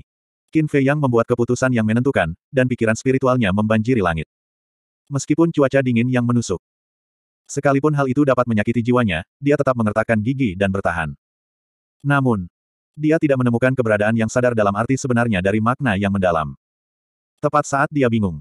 Tiba-tiba, jejak keterkejutan muncul di wajahnya. Meskipun tidak ada kesadaran dalam kebenaran mendalam, tetapi aura misterius ditemukan. Napas ini, tersembunyi dalam makna sebenarnya dari makna yang mendalam, sangat samar, dan sulit dideteksi jika Anda tidak merasakannya dengan cermat. Apakah benda ini sedang bekerja? Qin Fei yang terkejut. Indra ilahi, mengalir menuju atmosfer misterius itu. Engah. Hasil. Bukan saja dia tidak menghapus aura misterius itu, sebaliknya, jiwanya terluka parah, dan seteguk kemarahan dan darah menyembur keluar. Sangat kuat. Qin Fei yang terkejut. Sekarang, dia dan iblis hati berada dalam kondisi menyatu, jadi mereka tidak dapat menghapus aura misterius ini. Dia bahkan terpukul keras oleh aura misterius ini. Sungguh luar biasa. Sudah terlambat untuk mengatakannya, maka segeralah. Sungai telah mengalir deras. Mata Qin Fei yang tenggelam, dan kekuatan 50 ribu asal memadatkan pesona, memenjarakan makna sebenarnya dari hukum es, dan pada saat yang sama memisahkan sungai-sungai. Wow! Gemuruh. Air terus-menerus menghantam penghalang. Arti sebenarnya dari makna mendalam itu juga terhempas gila-gilaan, seakan ingin lepas. Tetapi bagaimanapun juga, itu adalah kekuatan asal muasal 50 ribu dao. Kecuali ada yang seperti Mo Xiaoke, tidak ada kemungkinan bisa dipecahkan sama sekali. Tetapi, Meskipun sungainya kini telah diblokir dan kelahiran kembali monster es telah dicegah, pada akhirnya hal itu merupakan gejala, bukan obat permanen. Jika Anda ingin menyelesaikan masalah ini sepenuhnya, Anda harus menghapus aura misterius itu. Tetapi, niat ilahiyahnya tidak dapat melakukan itu sama sekali. Apakah mungkin saya harus mengambilnya kembali dan meminta bantuan semua orang? Itu akan membuang-buang waktu. Dan kekuatan asal-usul pasti dapat menghancurkan aura misterius ini, tetapi jika Anda benar-benar melakukannya, maka menunggu kekuatan asal-usul menghancurkan aura misterius ini sama saja dengan menghancurkan makna sebenarnya dari makna yang mendalam. Ini pasti tidak akan berhasil. Apa yang mereka lakukan di alam rahasia? Bukankah itu berasal dari makna sebenarnya dari makna yang mendalam? Sekarang sulit untuk menemukannya dan menghancurkannya dengan tangan Anda sendiri. Bukankah ini sama saja dengan mencoba menderita? Qin Fei yang mencoba lagi. Namun masih belum mampu menghancurkan suasana misterius itu. Bahkan, jika terus berlanjut, jiwanya akan rusak parah. Karena pikiran ilahi berasal dari jiwa ilahi. Pikiran ilahi yang terluka juga akan membahayakan jiwa ilahi. Sudahlah. Setelah memikirkannya berulang-ulang, Qin Fei Yang menghela nafas, dan akhirnya memutuskan untuk pergi ke orang gila dan yang lainnya untuk meminta bantuan dengan makna yang mendalam ini. Saya percaya siapa pun yang bekerja sama pasti dapat menghancurkan aura misterius ini. Jangan terburu-buru, luangkan waktu saja. Hebatnya, dia bekerja keras, tujuh masuk dan tujuh keluar. Dia hanya bisa bekerja keras. Karena orang lain tidak bisa masuk sama sekali.